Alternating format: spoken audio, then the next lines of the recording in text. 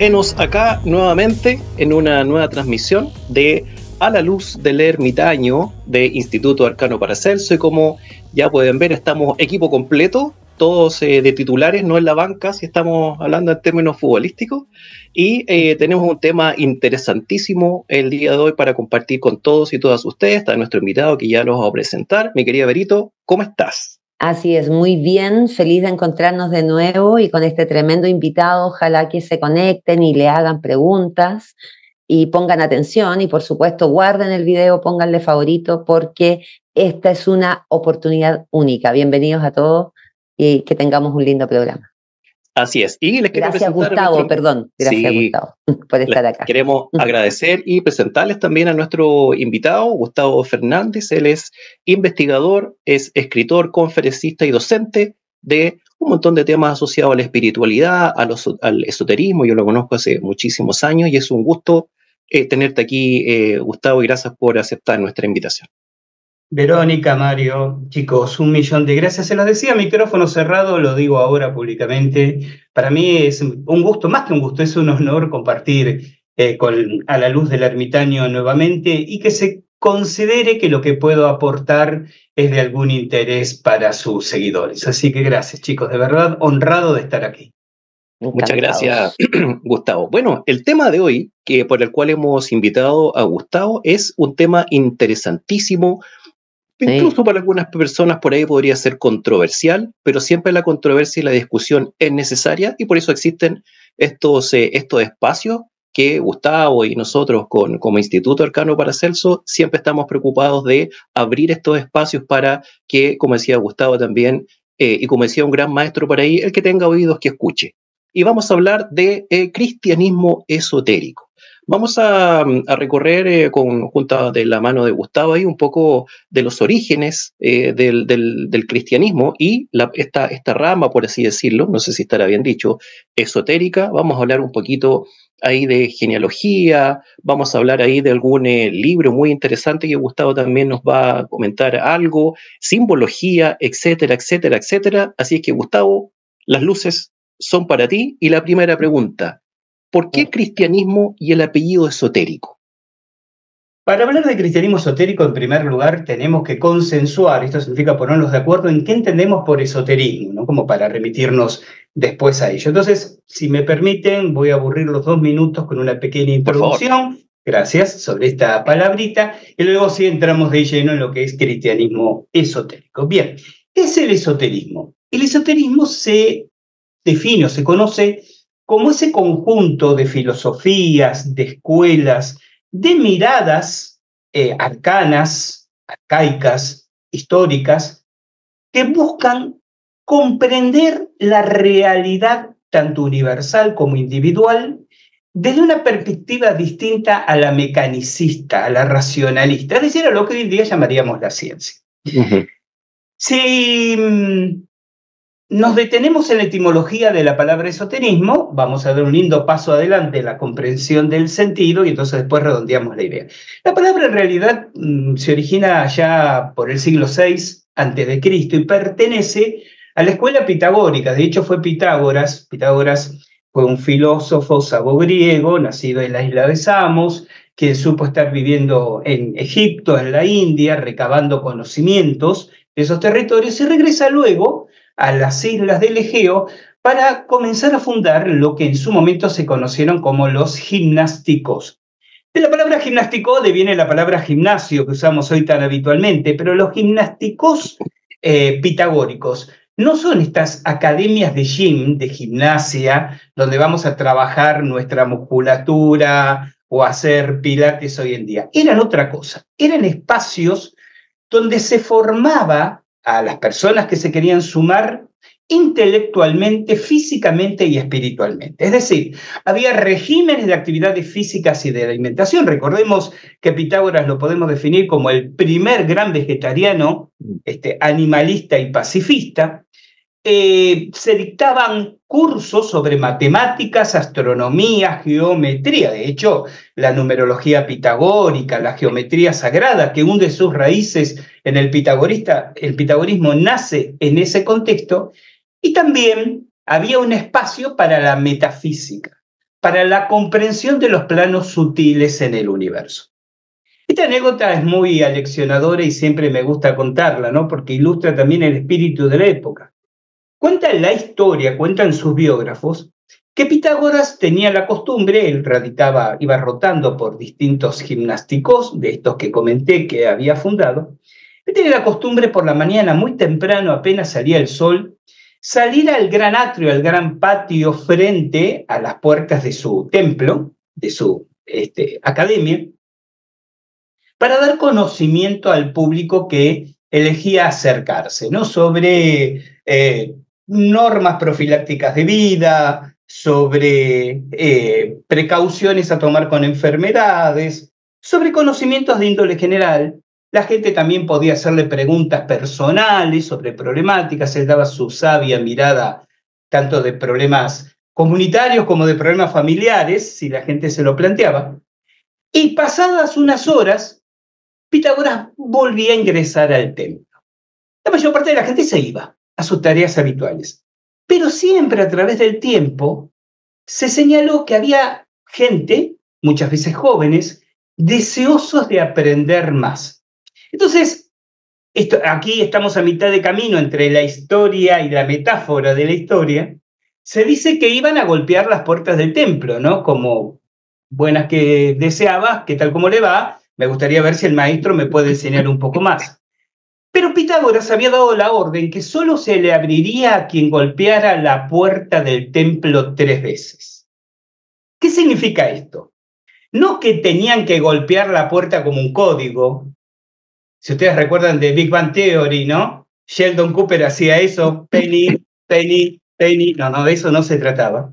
Sino tenía que ver con la insistencia en buscar el conocimiento.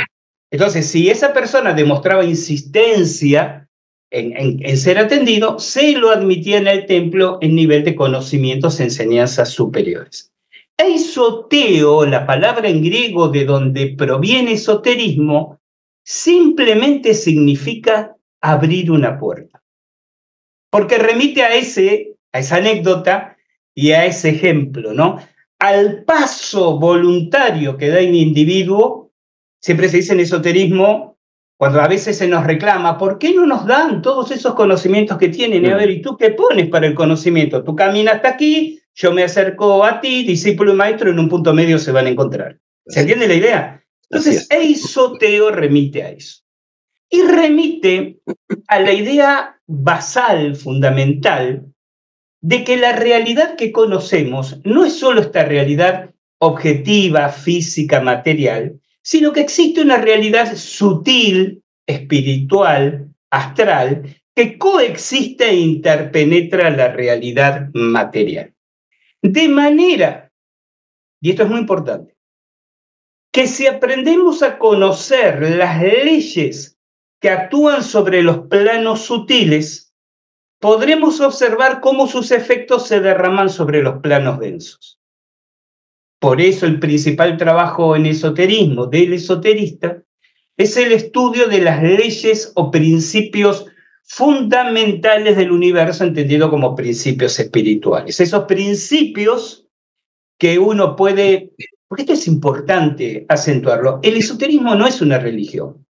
El esoterismo es una creencia. El esoterismo o ocultismo, porque son sinónimos, y aquí hay una cuestión cultural, porque muchas personas ante estas palabras, ¡ay, no! Esas son cosas satánicas. A ver, abramos la cabeza y vamos a las fuentes. ¿Mm? Claro.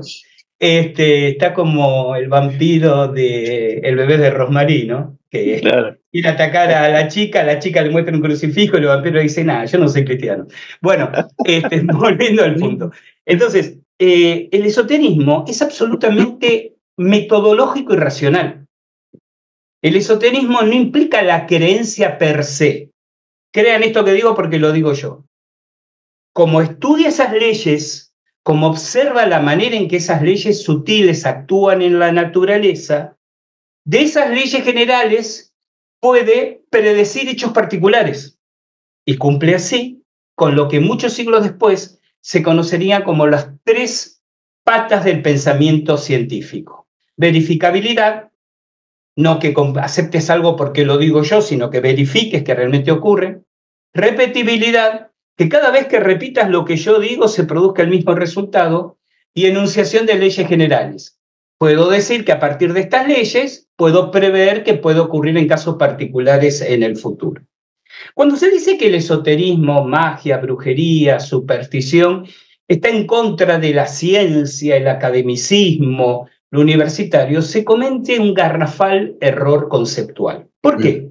Porque lo serio, lo racional, lo científico, no es la bata blanca, el diploma colgado en la pared, la computadora o la retorta de laboratorio, mientras que lo mágico y supersticioso es la túnica, el incienso, la vara de plata o la letanía en latín. Esos son herramientas, son instrumentos. Lo que hace que algo sea serio o no es si cumple esos principios que mencioné anteriormente. Y aquí tenemos un fenómeno muy interesante. Muchos universitarios recién recibidos afirman determinadas cosas simplemente porque así los dijeron sus profesores de cátedra. Están respondiendo a un pensamiento mágico. Tal cosa es así porque lo dijo el doctor, que autor de tales libros, académico por... Pero tú lo comprobaste. No, no, no, pero no necesito, lo dijo el doctor. Eso es pensamiento mágico, no científico. En mm. cambio, el aprendiz del chamán de la tribu, que aprende de su abuelo qué hierba debe combinar con qué hierba para obtener qué resultado, y que después prueba y experimenta, y si pruebo esta hierba con aquella, está actuando con método científico. Por eso es importante mover esta cabeza que tenemos, condicionada culturalmente, que hace creer que lo esotérico, por definición, es lo supersticioso, lo irracional, cuando de hecho todas las ciencias contemporáneas, todas nacen del esoterismo. Y doy un paso más adelante y me acerco al cristianismo Yo digo, resumo una idea bastante, eh, no sé si compleja, profunda, en esta frase cuando digo, eh, la magia es al esoterismo lo que la técnica es a la ciencia. La magia es al esoterismo lo que la técnica es a la ciencia. Culturalmente, otra vez, magos, magas, hechiceras, hechiceros, están muy mal visto, ¿no? Está como descalificado, pero un mago, un maga, no es más que una persona que pone en práctica los principios teóricos y filosóficos que aprendió en el esoterismo. ¿Y por qué hago esa comparación con técnicos y científicos? Un científico te desarrolla en una pizarra eh, sus ecuaciones sobre el comportamiento de, la electricidad. Lo que aprende de su investigación teórica es lo que le permite al técnico electricista darle electricidad a tu casa y no quedar electrocutado en el camino.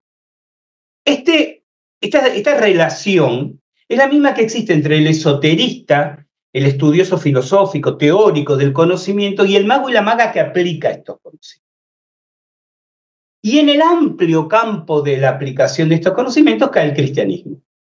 Y yo sé que esto puede resultar revulsivo para personas de buena fe, criadas en ambientes culturales este, católicos, eh, a veces con la imposibilidad de acceder a una mirada, eh, lo voy a decir en un sentido, por favor, no agresivo, subversiva de su propia... Digo subversión como alterar el orden de ver algo. Como revolucionario. Como revolucionario, sí, sí, sí, sí. Eso es.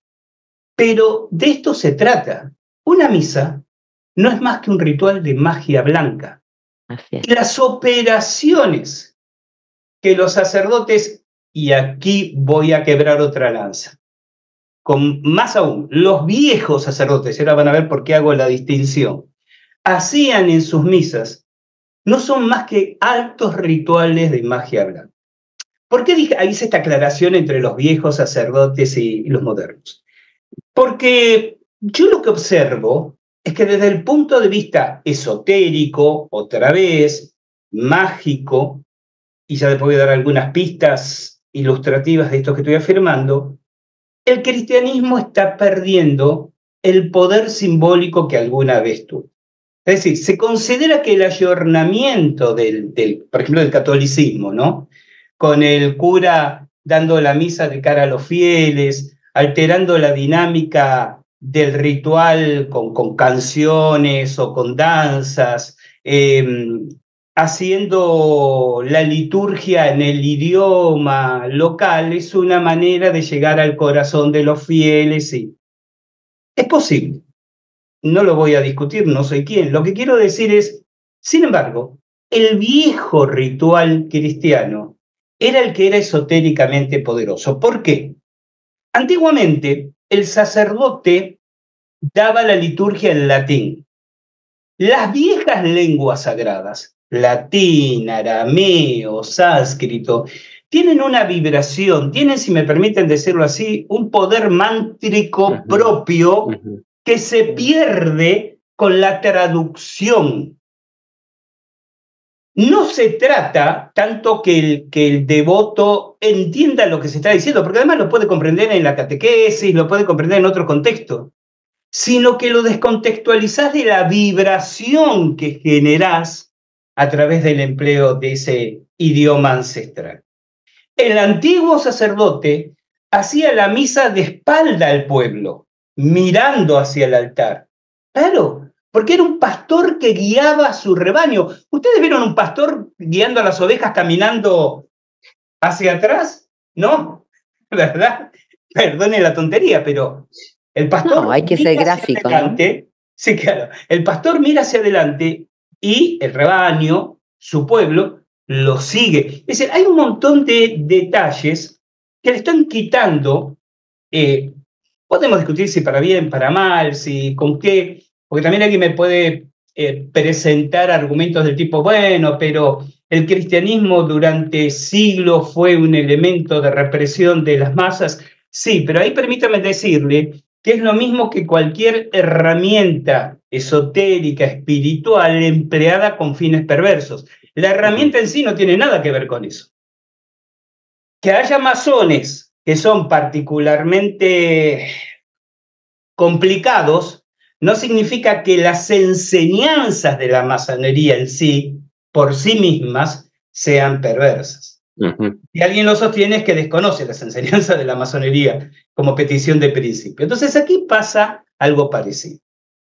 Pero este esoterismo, y, perdón si me estoy extendiendo, pero quiero ponerle el panorama general primero para ir a lo particular después, se alimenta, porque uno cuando habla de cristianismo esotérico, ¿de qué está hablando? Puede estar hablando de su origen, señalando la cantidad de elementos de magia egipcia presentes en la liturgia cristiana.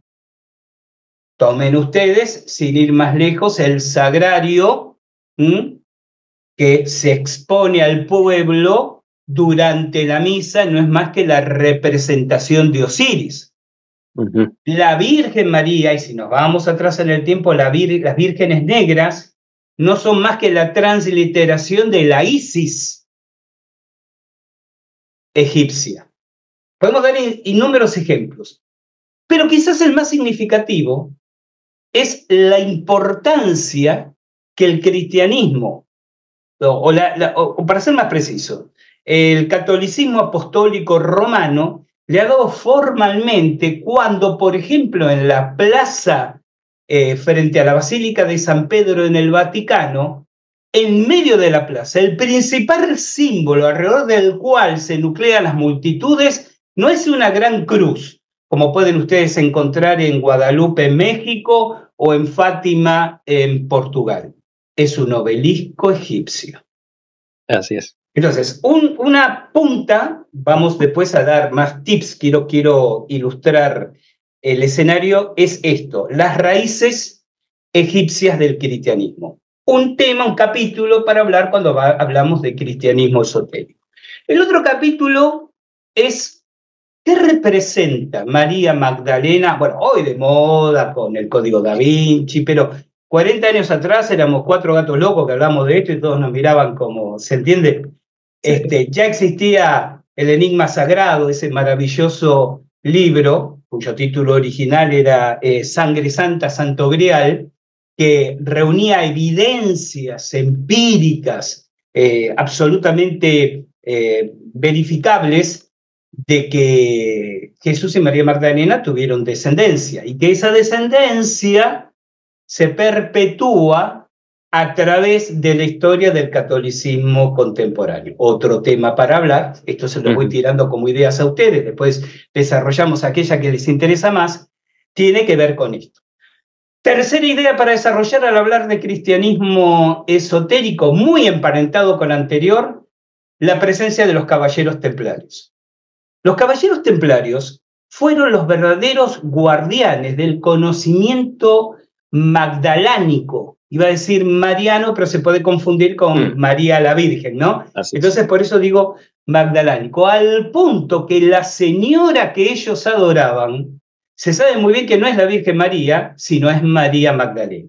Y una de las razones de su exterminio, una porque hubo varias, económicas, otras también, claro, tuvo que ver con esto, que eran poseedores de informaciones que al Vaticano como tal, porque aquí tenemos todo otro tema, ¿no? Cuando uno mira la estructura de la iglesia piensa que es algo monolítico y en realidad es un nido de escorpiones, avispas y serpientes, con logias, con agrupaciones. Eh, a mí me causa mucha gracia cuando eh, leo a veces algunas personas muy, muy creyentes, muy fieles a, a la catequesis que le dieron, cuando dicen, porque los, los masones son los enemigos del cristianismo. Yo les garantizo que el Vaticano está lleno de, de masones y de logias, de logias por derecho propio, mm. como por ejemplo la orden jesuítica. La orden jesuítica, y acá voy a hacer un par de comentarios que tienen que ver con lo histórico político, fueron, fue la orden que se apropió desde adentro del Vaticano del espacio libre que había quedado cuando fueron exterminados los templarios. Miren, los jesuitas, al igual que los templarios, son una prelatura personal. ¿Eso qué significa técnicamente? Que solo responden al Papa. Tienen una organización jerárquica de tipo militar. ¿Cómo se llama el máxima, la máxima autoridad jesuítica? El general. Los ejercicios de San Ignacio de Loyola, supuestos ejercicios espirituales, tienen un grado traumático y de estrés físico-psíquico que a muchos especialistas les hizo compararlo con las estrategias de lavado de cerebro de los MK Ultra o de otro grupo de, de similar tenor. Y evidentemente, históricamente, los jesuitas han tenido un verdadero plan propio expansionista para apoderarse de buena parte del mundo. Fíjense lo que pasó cuando los tuvieron que echar de América en 1760 este, y pico, precisamente porque estaban saliéndose de control. Y hay una frase en el Vaticano que circula en los pasillos que dice, nunca se sabe lo que piensa un jesuita. Ahora, hay un aspecto histórico que también tenemos que reflexionar. El cristianismo o el catolicismo, recordemos que hay dos iglesias católicas, dos. Está la iglesia católica eh, universal, la romana, y está la iglesia católica verdadera, que es el culto ortodoxo griego. Es una escisión que proviene de los tiempos de Bizancio, ¿no? O sea, relativamente, relativamente cercano históricamente. Yo digo que el cristianismo fue la inteligente respuesta estratégica del imperio romano que estaba a punto de desaparecer físicamente, militarmente, y al transmutarse en una iglesia, adquirió el poder mundial que estaba perdiendo. Constantino, que es quien oficializa el cristianismo, esto es muy interesante, Constantino se bautizó en su lecho de muerte. Es decir, el tipo decide que el cristianismo sea la religión oficial de Roma, y ahora vamos a ver por qué. Y le, o sea, los tipos pasaron de en 10 años ser perseguidos, este, eh, sacrificados en los teatros y coliseos, ¿no? A ser de pronto los dueños del poder. Así es. Pero eso qué le permitió? El, imperio romano estaba colapsando. No solo se había fragmentado, estaba perdiendo territorios, ya no tenía la estructura militar, el poder político que supo tener siglos anteriores. La metamorfosis del imperio romano, de hecho, la palabra pontífice, que tanto nos suena asociada al Papa, en realidad era un título militar romano. Entonces, la metamorfosis del imperio romano en imperio espiritual le permitió no solo resistir, sino resurgir de las cenizas y transformarse en lo que después se transformó en muy pocos siglos, es decir, prácticamente la, la, autoridad compulsivamente impuesta en todo, en todo el planeta. ¿Por qué elige el cristianismo Constantino? Para el 352 había dos grandes cultos extremadamente eh, penetrados en la, en la sociedad romana. Por un lado, el cristianismo ya no era perseguido, se habían relajado muchísimo las, las costumbres y era el culto, el culto gareño, predilecto por los patricios y por las sociedades económicamente pudientes. Y por otro lado estaba el mitraísmo, que lo habían traído de Persia, las legiones, militares, y era extremadamente popular entre los militares. Entonces Constantino lo que hace es decir, bueno, hay dos cultos, a ver, ¿sobre cuál culto vamos a montar nuestra estructura? Si le doy el poder a los militares, fuiste al piste, como decimos nosotros, porque ¿se entiende lo que digo? Le estás dando el poder, entonces a mí me interesa... Le abriste la puerta de la carnicería al gato. Entonces, a mí me interesa el segmento de la sociedad que tiene dinero, que puede hacer inversiones, que tiene el poder político, la parte patricia. ¿A qué responde el cristianismo? Vamos por ahí. Pero estuvieron a nada, eh, cuando uno eh, estudia un poco la historia chica de esa época, estuvieron a nada de decidir por el mitraísmo, y hoy seríamos todos educados de chiquito en el pensamiento mitraico en lugar del pensamiento cristiano. Por eso cuando la gente muchas veces con cierta ingenuidad y bonomía cree que la, la, la, masividad, no iba a decir la popularidad del cristianismo, es porque es la mejor religión y porque este, Jesús este, eh, desconoce toda esta historia chica detrás de, de, de bambalinas. También hay otro detalle importante, el Vaticano. ¿Usted sabe por qué el Vaticano se llama Vaticano? No, Alguna vez lo leí, venía de Vatica.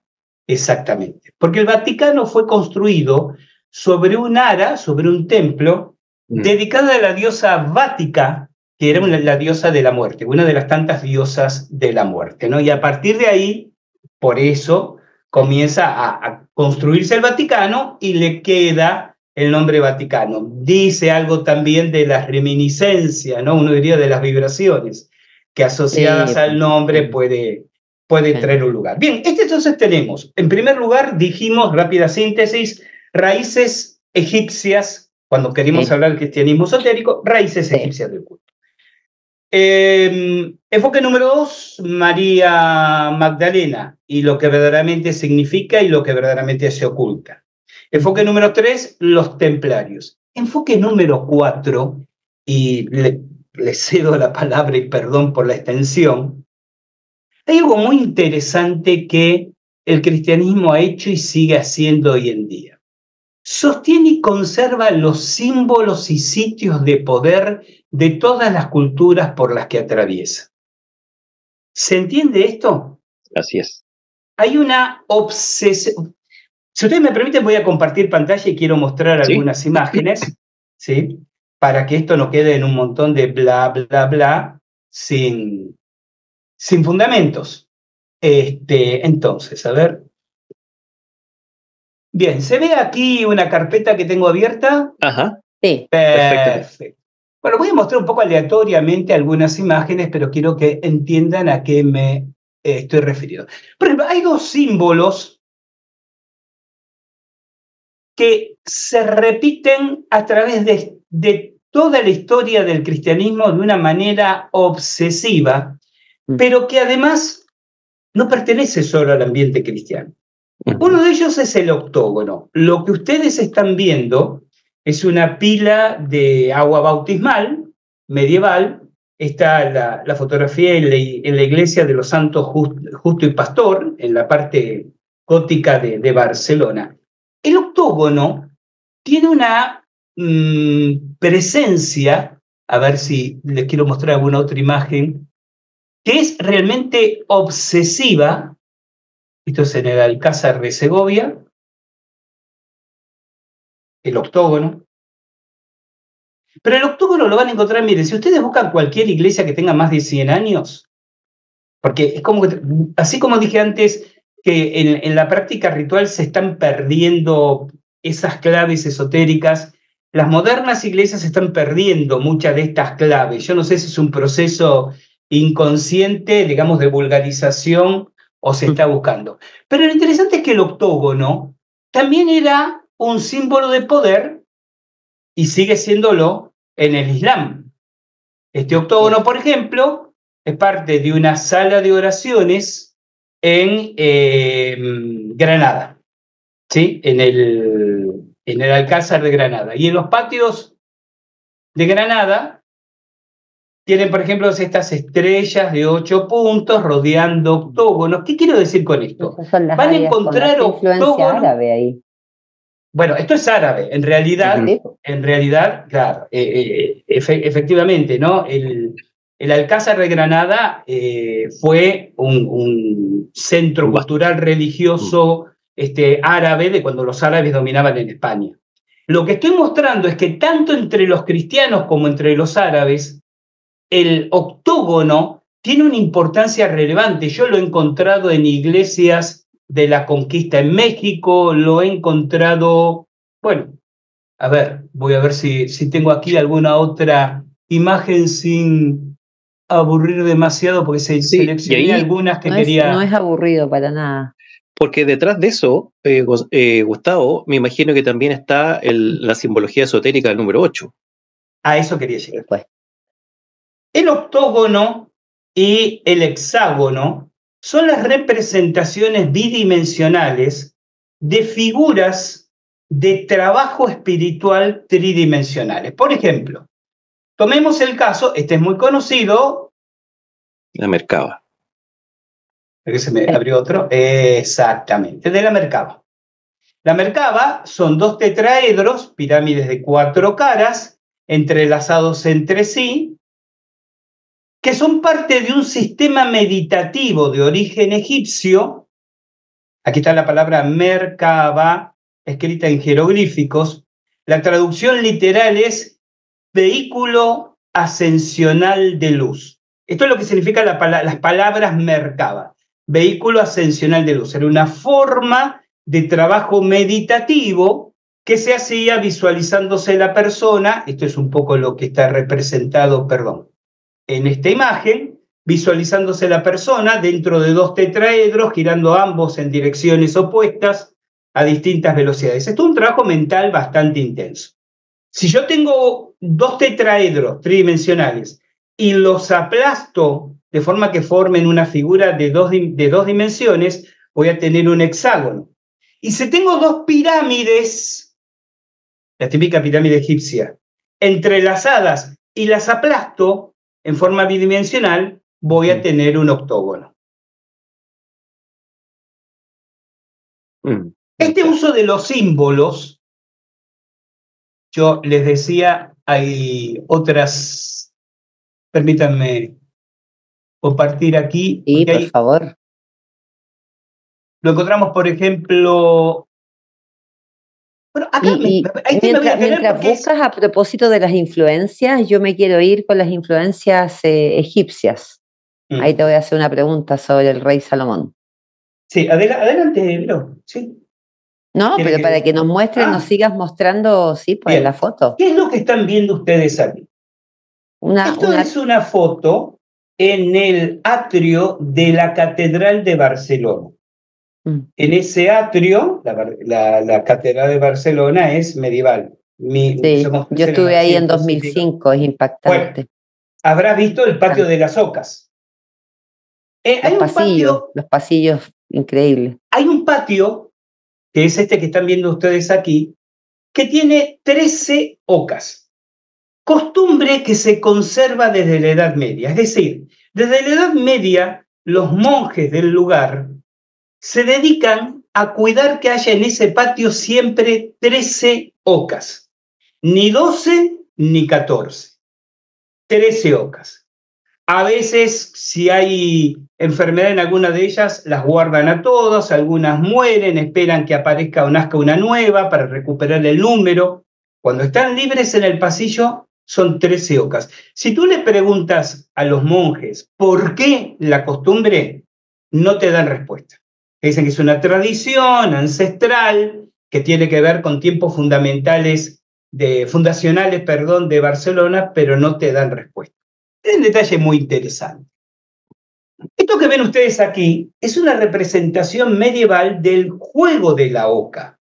Tal vez ustedes lo conocen, tal vez ustedes lo jugaron alguna vez. Lo que la mayor parte de la gente no sabe, el juego de la oca es un juego donde se va arrojando un dado y uno va avanzando. Bueno, eso te estoy explicando, Berito. Es como, como un caracol de casilleros, ¿sí? Entonces tú tiras un dado, te sale un número, entonces mueves tus fichas al número correspondiente. ¿Me sigues? En ese número hay unas determinadas indicaciones. Avanzas, retrocedes, mueres, eh, pierdes dos turnos. Como estos juegos de mesa que nosotros hemos... Monopoly. Ejemplo. El punto es que el juego de la oca fue creado por los templarios como una manera de enseñarle a su gente, que muchas veces era analfabeta, principios de vida espiritual. Por ejemplo, si caías en el casillero 13, significabas que morías para el mundo, pero renacías en espíritu. Si caías en el casillero 52 eh, significaba que habías completado tu paso por el mundo material y tenías que retirarte al ostracismo y a la enseñanza. Era como una especie de catálogo de normas de vida espiritual enseñadas a través de un juego. ¿Me siguen hasta aquí? Ajá. Interesantemente, interesantemente, tiene 64 casilleros. Ustedes dirán, no, Gustavo, 63 dice ahí, pero hay un casillero invisible que tenía que descubrir, o que tiene todavía hoy en día quien juega esto, tiene que descubrir por qué es el paso al mundo de las hadas. Y esto de los 64 es muy interesante, por lo menos para mí, cuando recuerdo que tanto los hexagramas del Shikin son 64, como los escaques en el juego del ajedrez, o sea, los cuadraditos en el juego de ajedrez son 64. Habida cuenta, y sobre todo esto lo afirmo en el juego, perdón, en el juego de ajedrez, habida cuenta de que el ajedrez tiene un origen y una funcionalidad absolutamente esotérica. Nos extenderíamos muchísimo si nos ponemos a hablar del lado esotérico del ajedrez, ¿no?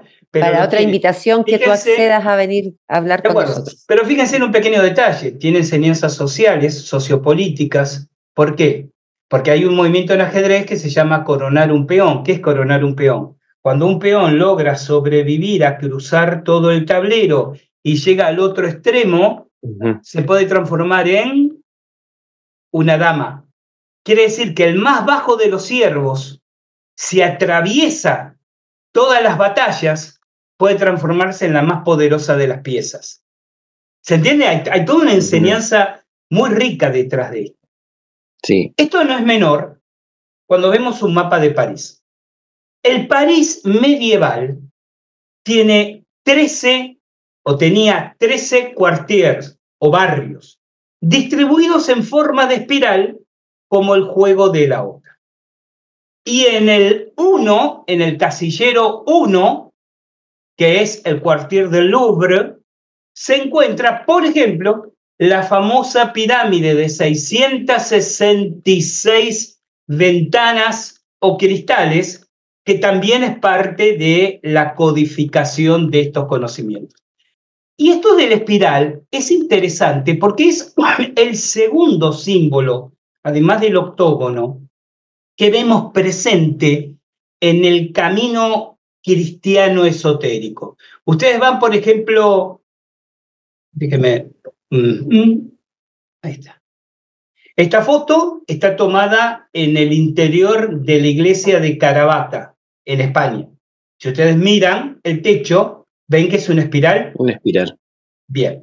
Caravaca se caracteriza, además de la famosa cruz de Caravaca y de historia de cómo llegó la cruz ahí, se caracteriza por algo muy interesante. La iglesia está construida, fue levantada a muy poca distancia de un pozo sagrado prehistórico de, de tipo curativo. Y este es el otro tema del cristianismo esotérico, este, para mí apasionante, que quería compartir. Cómo la iglesia ha buscado sitios de aguas eh, curativas, cruces de líneas telúricas energéticas para apropiarse de las mismas con determinados fines. Por ejemplo, muestro otra, uh, Eunate. Eunate se encuentra en Navarra, en España. Es una Algunas de las ruinas más antiguas del mundo tienen una correlación con las líneas. Ruinas Claro, pero eso es lo interesante. Porque uno dice. Es como una constante que hace la gente que está en el poder, ¿no? Es buscar. Exactamente, y el cristianismo toma eso y superpone. Unate, por ejemplo, que decía es una ermita templaria que está construida en Navarra, está construida sobre el cruce de dos líneas telúricas y a un lado hay una fuente de agua surgente que todavía sigue eh, funcionando, ¿no? Que se le considera de propiedades eh, curativas. Otro sitio, bueno, Eunate tiene una cosa muy interesante, es una anécdota que la, comparto un momentito aquí. A 8 kilómetros de Eunate hay otra ermita que es como una copia en espejo de la misma, ¿no? Eh, mejor dicho, no toda la ermita, sino el portal principal de acceso. Es este que voy a compartir de aquí se conoce como el portal de Olcott. Y además de ser un reflejo en espejo del portal de Unate, está perfectamente alineado astronómicamente con el movimiento de las constelaciones zodiacales. Y aquí tenemos otro factor interesante. Pese a que la iglesia siempre ridiculiza la astrología, es increíble la dependencia que tiene de lo astrológico. Desde la determinación del, de la Pascua, pasando... Una información que da, que da poder a quienes están en el poder, pues, y les permite anticipar. Pero lo que voy es, ellos al pueblo le dicen, no, todo esto es superstición, todo eso es brujería, son cosas del maligno, pero ellos se valen absolutamente de todo esto. Otro lugar de energía interesante.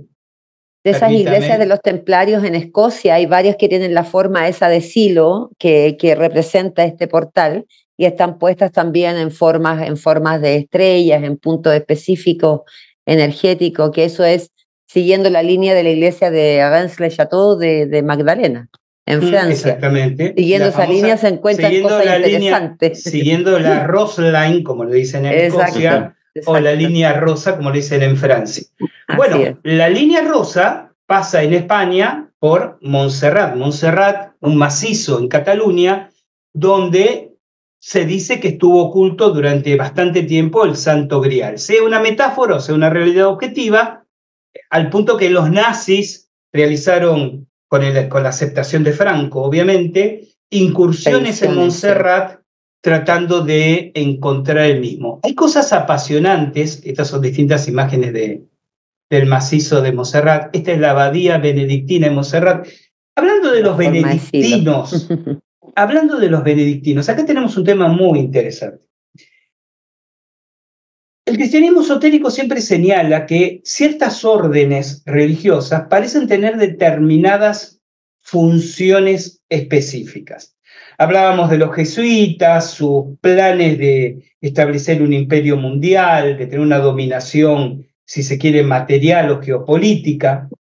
Los dominicanos, que están considerados como los ejecutores de las órdenes más sucias del Vaticano. Por eso muchos bromean y dicen que no viene de, Santo Domingo el nombre de dominicano, sino de la palabra dominicanes, los perros del Señor, y tenemos los benedictinos. A los benedictinos siempre se los ha señalado como los porteros del infierno, como que su función fue custodiar entradas al inframundo. Y es muy interesante encontrar abadías benedictinas en lugares, voy a decir un término que para los que frecuentamos estos temas nos resulta conocido, en zonas paranormales o forteanas. Mm. Montserrat, Montserrat tiene, por ejemplo, una incidencia de observaciones de ovnis, desapariciones de personas, personas que sufren de deportaciones, eh, apariciones. Bueno, la, famosa Moreneta ha sido la, primera aparición, claro, registrada en el lugar. Pero fíjense que los, em, los benedictinos y esta correspondencia de estar en lugares calientes, los van a encontrar en muchos lugares. Por ejemplo, Montecassino en Italia. Montecassino, ahí cerca de Nápoles, tiene una historia lamentable cuando los aliados entran por el sur, por Sicilia, y avanzan sobre Roma, eh, deciden atacar Montecassino. La abadía de Montecassino, benedictina, estaba en lo alto de la montaña homónima y no les afectaba en absoluto porque las rutas pasaban a 20 kilómetros de mm. distancia ni aunque tuvieran la mejor artillería, que de hecho se comprobó que no la tenían, podían haber afectado. Pero los aliados deciden detener su avance hacia Roma y tomar Montecassino. De hecho, esto es histórico, ¿no? Se sabe que hubo una negociación entre la iglesia, los nazis y los aliados, porque los nazis que se habían refugiado ahí lo tenían como control de operaciones, dijeron, esperen, dejamos el lugar, déjenos retirarnos, porque este patrimonio cultural artístico es de la humanidad, no lo. Y los aliados dijeron, no, no, vamos a atacar igual. Y atacaron, y bombardearon y destruyeron la abadía. Y empeoraron la situación, porque los nazis que sobrevivieron en los túneles, que resulta que había enormes galerías de túneles, eh, se atrincheraron más aún. Los aliados tuvieron que subir avanzando entre las ruinas piedra a piedra, hombre a hombre, y fue una carnicería hasta que pudieron tomar el lugar. Para encontrar que nada de valor. ¿Por qué destruyeron Montecassino? Montecassino, como Montserrat, fue otro de los lugares donde se dijo que peregrinó el Santo Grial y supo estar ahí instalado. Bueno, podemos citar muchos casos de abadías benedictinas en lugares con que se consideran entradas al, al inframundo. Y en Montserrat, aquí muestro unas imágenes, esta es de la Basílica de Montserrat, un punto energético muy interesante, muy particular, ahí estoy haciendo radiestesia en el atrio frente a la, a la basílica. Eh, a ver si les quiero mostrar otra imagen. Hay una, hay una historia muy, muy interesante. Ustedes saben que yo lo comentaba recién Mario, aquí se encuentra la famosa Virgen Negra, la Moreneta, que no es esta que estoy mostrando, ¿no?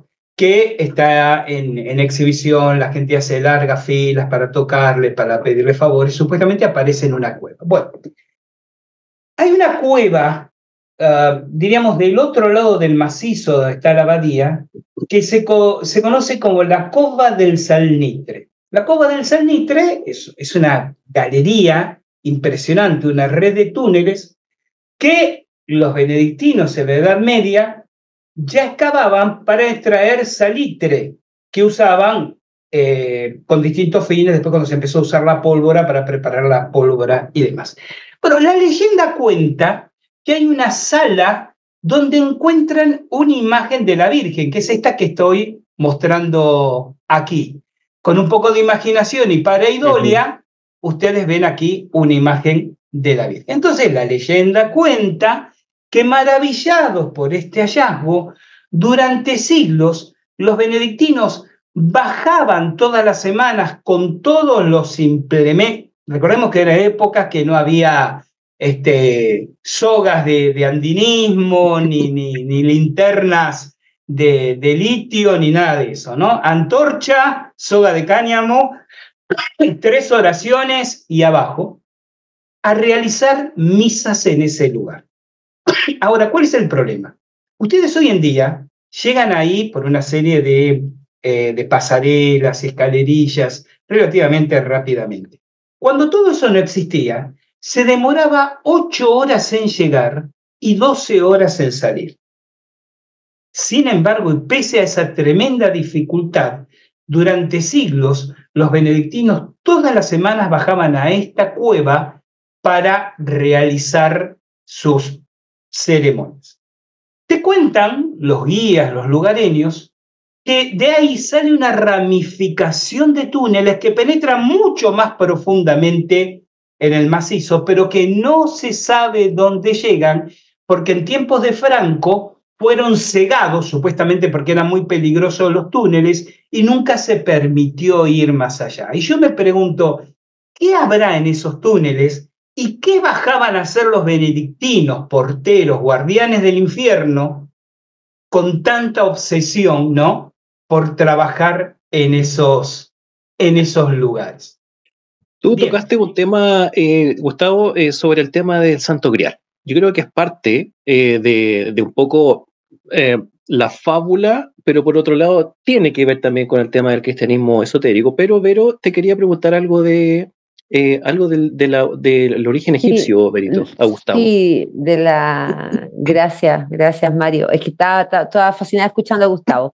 Este, mm, sí, lo que pasa es que tiene que ver con el acceso a la información y la capacidad que, que, que, tenemos que ver de las cuestiones que están ahí a simple vista, ¿no? En, la, en, el mismo texto, en la misma Biblia está 900 años antes de Jesús, el rey Salomón se casa con la hija de un faraón, no era cualquier persona, tenían sus rituales, existía la magia, no con ese nombre, pero la historia está ahí. Y, claro, y cuentan un poco que eh, el rey Salomón cambió y por eso después su hijo, qué sé yo, tomó el poder y cambió todo, cambiaron un montón de cosas a partir de ahí, sin extenderme en eso, eh, porque esos son varios otros caminos, que las doce casas, que, en fin, que el verdadero rey, etcétera.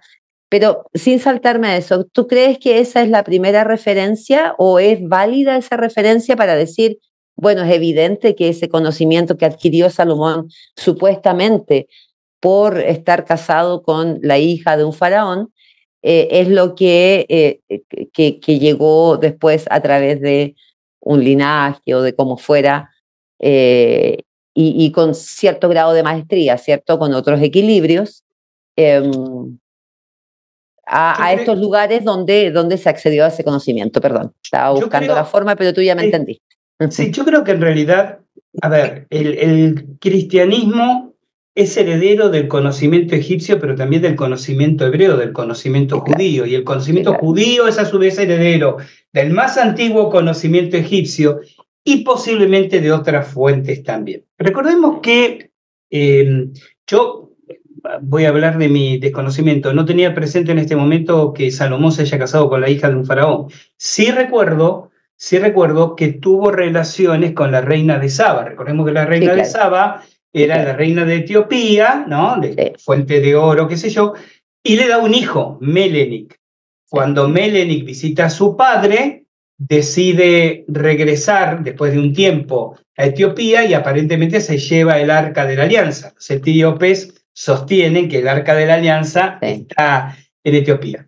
Pero esto del arca de la alianza de origen judío, en realidad tiene una pata egipcia muy marcada, al punto, recuerden ustedes, que eh, las medidas del interior del sarcófago de la pirámide de Keops corresponden perfectamente a las medidas externas del arca de la alianza, retirándoles los dos eh, bastones o parantes, las manillas, que sirven para levantar. Por eso hay toda una línea de pensamiento de que dice que en realidad la pirámide de Keops, una de sus razones de ser, fue custodiar el arca de la alianza y lo que hizo Moisés y que desencadenó la persecución, porque se acuerdan cómo fueron las cosas, o por lo menos como nos cuentan, ¿no? Que fueron las mm. cosas. Es decir, el faraón, Ramsés II, no lo, no lo quería largar a Moisés, estaba emperrado en que no, se quedan aquí. De Moisés dijo, ah, sí, bueno, entonces hablo con el jefe y les mandó las plagas. Plaga 1, 2, 3, llegó un momento, después de la muerte de los primogénitos, mm. que Ramsés como está bien, agarra tu gente, andate, no me jodas más, chao, que te vaya bien. Y se va. Pero el día siguiente de la partida, Ramsés cambia violentamente de opinión y dice, no, no solo no los vamos a dejar ir, los vamos a buscar y los vamos a matar a todos. Y es cuando sale con el ejército, cruza del Mar Rojo, muerte del ejército de, Ramsés y, todo lo demás. Un cambio muy radical. Claro, y uno, uno tiene el derecho a suponer de que en realidad lo que pasó ahí, de que Ramsés estaba de acuerdo con que se fueran así, pero Moisés le hizo la picardía de llevarse el arca de la alianza y cuando le vinieron a avisar, mirá que este, Moisés sí se fue, pero se llevó la joya de la corona, este, el otro enloqueció y pasó lo que, lo que pasó, ¿no? Entonces, eh, a mí me parece que las raíces de este conocimiento trascienden lo egipcio, lo judío. Eh, estaría tentado hasta decir lo, lo, lo, iranio, si, nos remontamos ¿no? a, a, la religión de Aura Mazda ¿no? y al zoroastrismo como una de las más antiguas. Creo que en realidad es un conocimiento universal donde el santo grial pasa a ser, y aquí retomo lo que había planteado Mario, pasa a ser el símbolo de un conjunto de conocimientos. O sea, mi opinión personal, que por supuesto puede cambiar el día de mañana ante evidencias que me empujen a cambiar de opinión. Yo no tengo ningún problema en, ante mejores evidencias, modificar mi postura. Pero digo, con las evidencias que me manejo ahora, yo creo que el santo grial no es un objeto. El santo grial no es eh, María Magdalena embarazada, sino que el Santo Grial es un conjunto de enseñanzas transmitidas por María Magdalena cuando llega a Francia, porque a los oyentes recordémosles un aspecto de la historia que siempre se disimula. Eso te iba a decir. Interesante. Eh, supuestamente, ¿A dónde se fue María? supuestamente muere Jesús en la cruz. Digo, supuestamente. Supuestamente. Tengo mis dudas. La investigación que el español Andreas Faber-Kaiser hizo en los años 80 mm. sobre que Jesús habría sido bajado vivo de la cruz y había, habría huido a Cachemira, al norte ah. de la India, está muy bien fundamentada. Bueno, pero eso sería todo otro tema. Este tema del cristianismo esotérico tiene tantas ramificaciones y tantos subtextos y subtramas que es apasionante. Entonces, muere supuestamente Jesús y entonces las tres Marías la mamá, María Betania, María Magdalena, José de Arimatea, Santiago el Menor, el hermano menor de Jesús, y algunos este, acólitos y acólitas deciden huir de, de, la, de Palestina, porque estaban expuestos, y como Arimatea, recuerden, gran comerciante, tenía negocios del otro lado del Mediterráneo, en las Galias, consiguen un navío, se cruzan el Mediterráneo, y llegan a Francia. Desembarcan en una playa, hoy en día hay un pueblito que se llama Santes Maries de la Mer, las Santas Marías de la Mar, y aparentemente eh, María Magdalena, ya embarazada, habría dado a luz en un poblado cercano donde se habría radicado y años después habría fallecido. Esa historia dice que esta niña llamada Sara, como fue recibida y, prohijada por gitanos, es la Santa Sara eh, que los gitanos siguen reverenciando hoy en día, ¿no? Y entonces los muchachos se dedicaron a seguir difundiendo el conocimiento. Santiago se va hacia España y muere en lo que actualmente sería Santiago de Compostela. José de Arimatea se va a Britania construiría los primeros fundamentos de lo que después sería la abadía de Glastonbury. ¿no? Esta sería como la, la historia conocida pero disimulada por eh, el catolicismo y el cristianismo este, oficial. Lo que hace María Magdalena esos años, está viviendo en Francia y su gente, es transmitir una serie de conocimientos a la gente que se acerca al pueblo, que se transforma en el núcleo de lo que luego se conocería como el pensamiento cátaro. Recordemos la famosa herejía cátara, en el, herejía para el Vaticano, por supuesto, ¿no? En el sur de Francia. ¿Quiénes eran los cátaros? Llamados así porque la palabra catar significaba perfecto.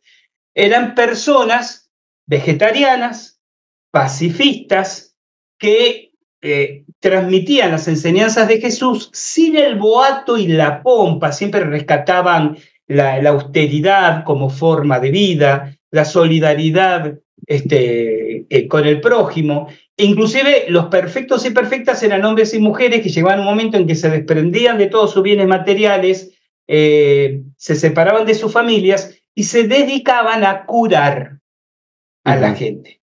De este primer grupo de este primer grupo nacen los famosos reyes santos merovingios. Los merovingios, ustedes saben que en esa Francia de ese entonces hubo como una dinastía que trató de tomar el poder, que se llamaba Merovingio, y que fue después arrasada en batallas por otra dinastía que fue la de los carolingios, que es la que después siguió existiendo actualmente. Los reyes merovingios eran llamados los reyes santos porque tenían propiedades sanadoras, porque imponían las manos y curaban, y porque decían transmitir el linaje directo de Jesús, ser descendientes de ese primer grupo, es decir, Sara habría tenido familia y ahí se habría multiplicado, bueno, este, y entonces, ese, ese conjunto de conocimientos, pacifismo, vegetarianismo, servicio solidario absoluto este, al prójimo, eh, austeridad y rechazo al boato, era lo que formaba el núcleo de las creencias, no solo de las creencias, de la forma de vida de los cátaros, también conocidos como albigenses. Fueron tan molestos para el Vaticano, porque llegó un momento que Francia, recordemos que la Francia eh, del siglo XII, para que nos ubiquemos, no era la Francia que vemos en los mates ahora, ¿no? En los, mapas ahora. Ustedes tenían a la Francia imperial, diríamos, alrededor del país, pero en el sur estaba lo que se conocía como el Languedoc o País de Oc u Occitania, que era como una especie de fragmentación, tenían una lengua propia, ¿no? La langue de Oc, de ahí viene la palabra Languedoc, como se llama hoy esa región de Francia, eh, y, tenían una impronta poderosísima de los cátaros. Entonces, 1215, el Papa, junto con el rey de Francia, dice, no, miren, estos tipos son un problema, extermínenlos, y se hace la única cruzada interna, porque todas las cruzadas eh, religiosas fueron a Tierra Santa. la única cruzada interna fue la cruzada de los cátaros o los albigenses, donde realizaron masacres, inclusive está la famosa masacre de Montsegur, en un monte donde ellos tenían un castillo y donde 213 perfectos y perfectas, antes de, de entregarse y cambiar sus creencias, se arrojaron a las llamas y decidieron morir. Y fíjense qué interesante, los templarios no quisieron participar de esta cruzada. Los templarios que estaban siempre presentes en todas las cruzadas, en la cruzada albigense se negaron rotundamente. Y esto generó muchísimo discordia, tanto con el rey de Francia como con el Vaticano, que años después terminó en lo que terminó, ¿no? ¿Por qué? Porque en un punto los templarios también compartían el preservar ese conocimiento de ese cristianismo, es decir, el verdadero cristianismo original sería la práctica cátara, no lo que se practica hoy como cristianismo. De hecho, eh, sí, de hecho, Gustavo, hay una, una, de lo que tú, muy bien, me acordé de algo que tú dijiste, porque al, supuestamente morir Jesús, dicen los, los investigadores históricos que una corriente eh, fue la herencia natural que tomó Santiago, si no me equivoco, uno de los hermanos de Jesús, que era el que estaba a favor de seguir las enseñanzas como eh, los cátaros en su momento las, eh, entre comillas, las heredaron, pero tenemos otro personaje, que es Pablo de Tarso, ¿cierto? Que fue el, el, el verdadero eh, management, el CEO, por así decirlo, no lo estoy diciendo peyorativo, eh, del cristianismo como lo conocemos hoy en día, que lamentablemente fue la vertiente que, que, eh, que prevaleció, digamos. Mm. Lo que pasa es que, recuerda que, que Saulo de Tarso era recaudador de impuestos, o sea, el tipo se movía en un ambiente donde sabía que el dinero y la política era lo que manejaba el mundo. Entonces, cuando se transforma en Pablo, él dice, a ver, si vamos con la onda de los pobres y el amor,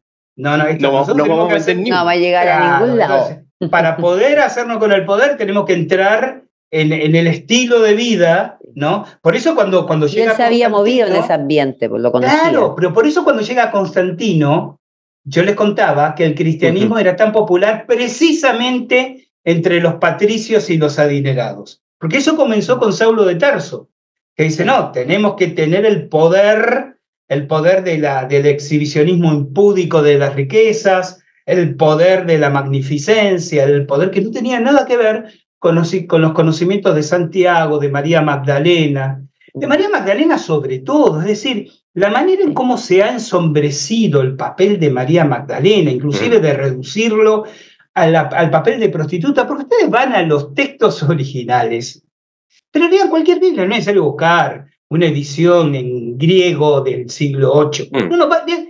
y en ningún momento se dice que María Magdalena sea prostituta.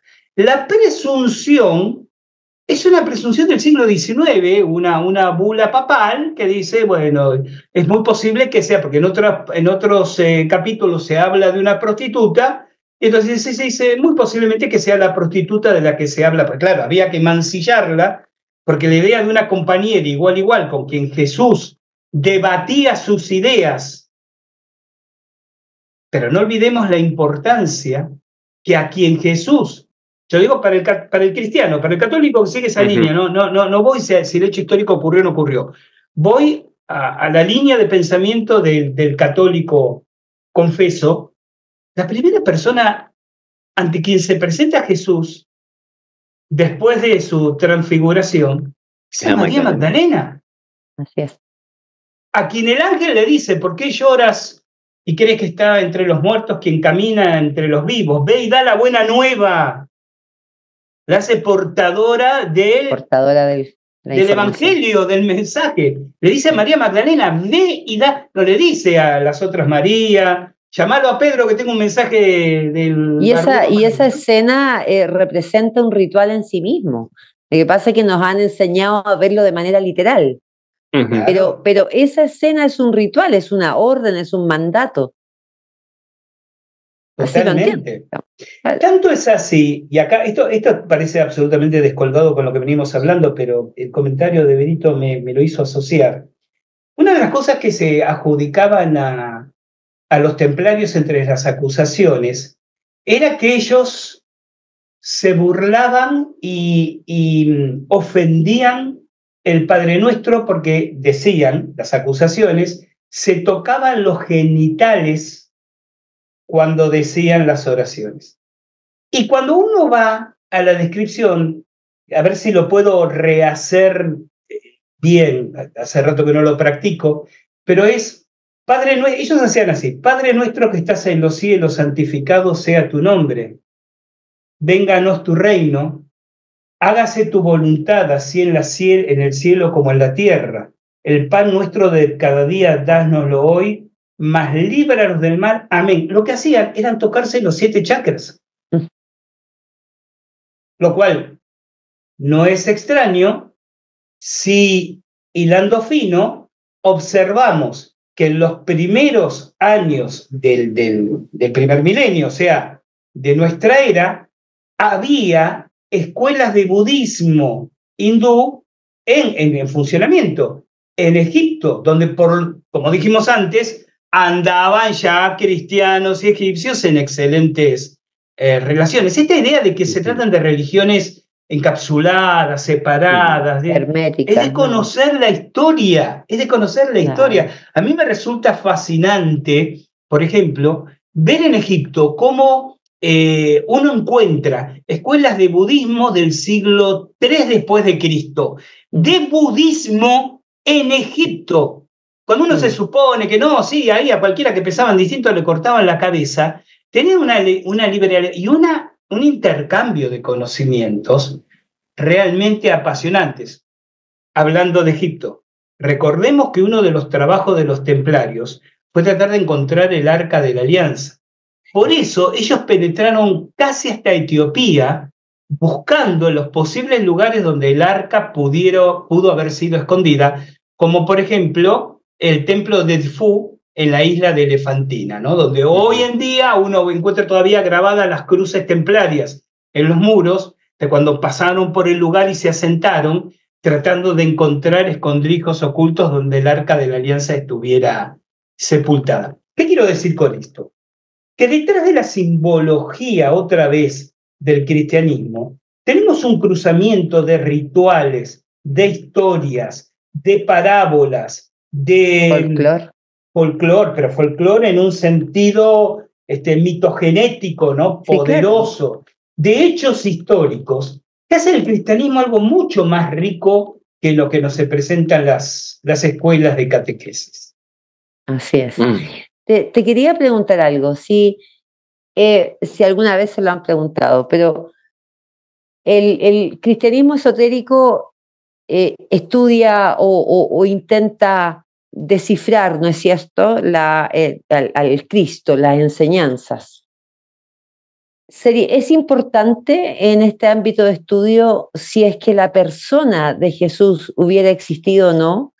Eh, si es que lo que estudiamos son las enseñanzas, ¿cuál es la, hay alguna, algún lineamiento en ese sentido? Sí, claramente, claramente, claramente. clarísima la pregunta y, claramente la respuesta. En primer lugar, el cristianismo esotérico no estudia solo las enseñanzas, estudia una multitud de temas vinculados a todo esto que estamos planteando. Cuando nos voltamos, bueno, pero ¿cuáles son las enseñanzas que busca el cristianismo, el cristianismo dice, bueno, a ver, ¿cuáles son las enseñanzas más próximas al cristianismo original?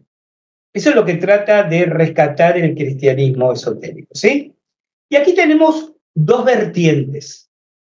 Una vertiente, que es esta vertiente magdalánica, como yo mencioné antes, que deviene después en las creencias cátaras y albigenses. Entonces, yo aquí tendría que decir, desde ese punto, si yo quiero conocer el pensamiento más cercano al Jesús histórico, admitiendo que lo haya sido, tengo que tratar de conocer el pensamiento cátar. Y la otra vertiente, que es mucho más masiva y popular, porque pocos hablan de cátaros y albigenses cuando hablan mm. de los orígenes del cristianismo, pero se habla mucho de los gnósticos. Porque en los 200 años posteriores al margen histórico, a la ventana histórica en que pudo haber existido Jesús, que es todo otro tema, ¿no? Este tema de por qué se dan las fechas que se dan cuando sabemos que no son y las fechas ya sabemos que fueron otras, ¿no? También por cuestiones simbólicas. Mm. O sea, Navidad es por los saturnales romanos, para hacer coincidir con los saturnales romanos. Jesús, si fue histórico y nació, nació lo que hoy sería el mes de agosto. Bueno, hay un montón de matices. Pero lo que quiero llegar es esto. En esos 200 años posteriores, el cristianismo, como se hizo fuerte en Egipto por todo esto que estamos mencionando, tenía una absoluta raíz gnóstica. La pregunta, y en esto hay un enorme debate, hay media biblioteca que dice una cosa y media biblioteca que dice otra, es si el pensamiento gnóstico era inherente a Jesús o fue un agregado posterior que Mani, uno de los primeros este, pensadores del gnosticismo le atribuyó a Jesús. Ahí son cuestiones de punto de vista, porque yo veo que hay muchísima gente interesada en el cristianismo esotérico y dice, claro, porque hay que estudiar a los gnósticos para ver cómo pensaba Jesús. No está tan claro. Si bien es cierto que los, que por ejemplo los, los manuscritos de Nahamadi, por poner un ejemplo, son fuertemente gnósticos. Recordemos que son del año 300 de nuestra era. Y los manuscritos del Mal Muerto son del año 180 a 240. Entonces, ya estaban en una época donde había habido movimiento, donde se había dispersado el grupo, donde tal vez ya había dos corrientes. Bueno, tal vez no, seguro, porque ya Saulo de Tarso iba adelante con su, con escuela, diríamos así. Entonces, lo que quiero decir es, si yo quiero conocer el pensamiento original de Jesús, tengo dos maneras de verlo. O me acerco al pensamiento cátaro, entendiendo que María Magdalena, porque esto es lo que, lo que sabemos, es decir, el pensamiento cátaro nace precisamente Francia, sur de Alemania, en toda esa región, a partir de la irradiación que el grupo de María Magdalena hace en esa región, o tengo que irme para el lado exactamente opuesto, ¿no? Para Egipto, y suponer que otros maestros cristianos, los primitivos padres de la iglesia, al irse a Egipto, le dieron ahí esa consistencia que se transformó, se transformó en la escuela gnóstica. Y aquí me lleva a otro punto. ¿De qué gnosticismo estamos hablando? Porque no, no tiene nada que ver el gnosticismo primitivo con el gnosticismo de Samael Aumbeor, por ejemplo. Mm. Son cosas ya, Muy sin emitir opinión personal, pero no tiene absolutamente eh, algo, algo, algo controversial ahí con justamente eh, ese, personaje. Hay, hay ciertos detractores y, defensores. ¿Sabes pero, qué? Pero es interesante leer ambas corrientes. Siempre. Sí, siempre. Nosotros siempre, hemos dicho eh, hay que nutrirse de todas las fuentes, ¿cierto? Para. De hecho, para tener, una opinión personal. Primero, poder dar opiniones básicamente con, con, conocimiento y lo otro para que uno, cada uno de nosotros haga su, su propia, no sé si decir impresión o lo que le haga más sentido. Pero lo que le iba a comentar a, Gustavo, tú hablabas, de los cátaros y el gnosticismo como, como un poco los pilares en base a la, a la pregunta que te hizo Vero, pero en los tiempos de, suponiendo que eh, Jesús, eh, como igual que tú dices, como el Jesús, persona, digamos.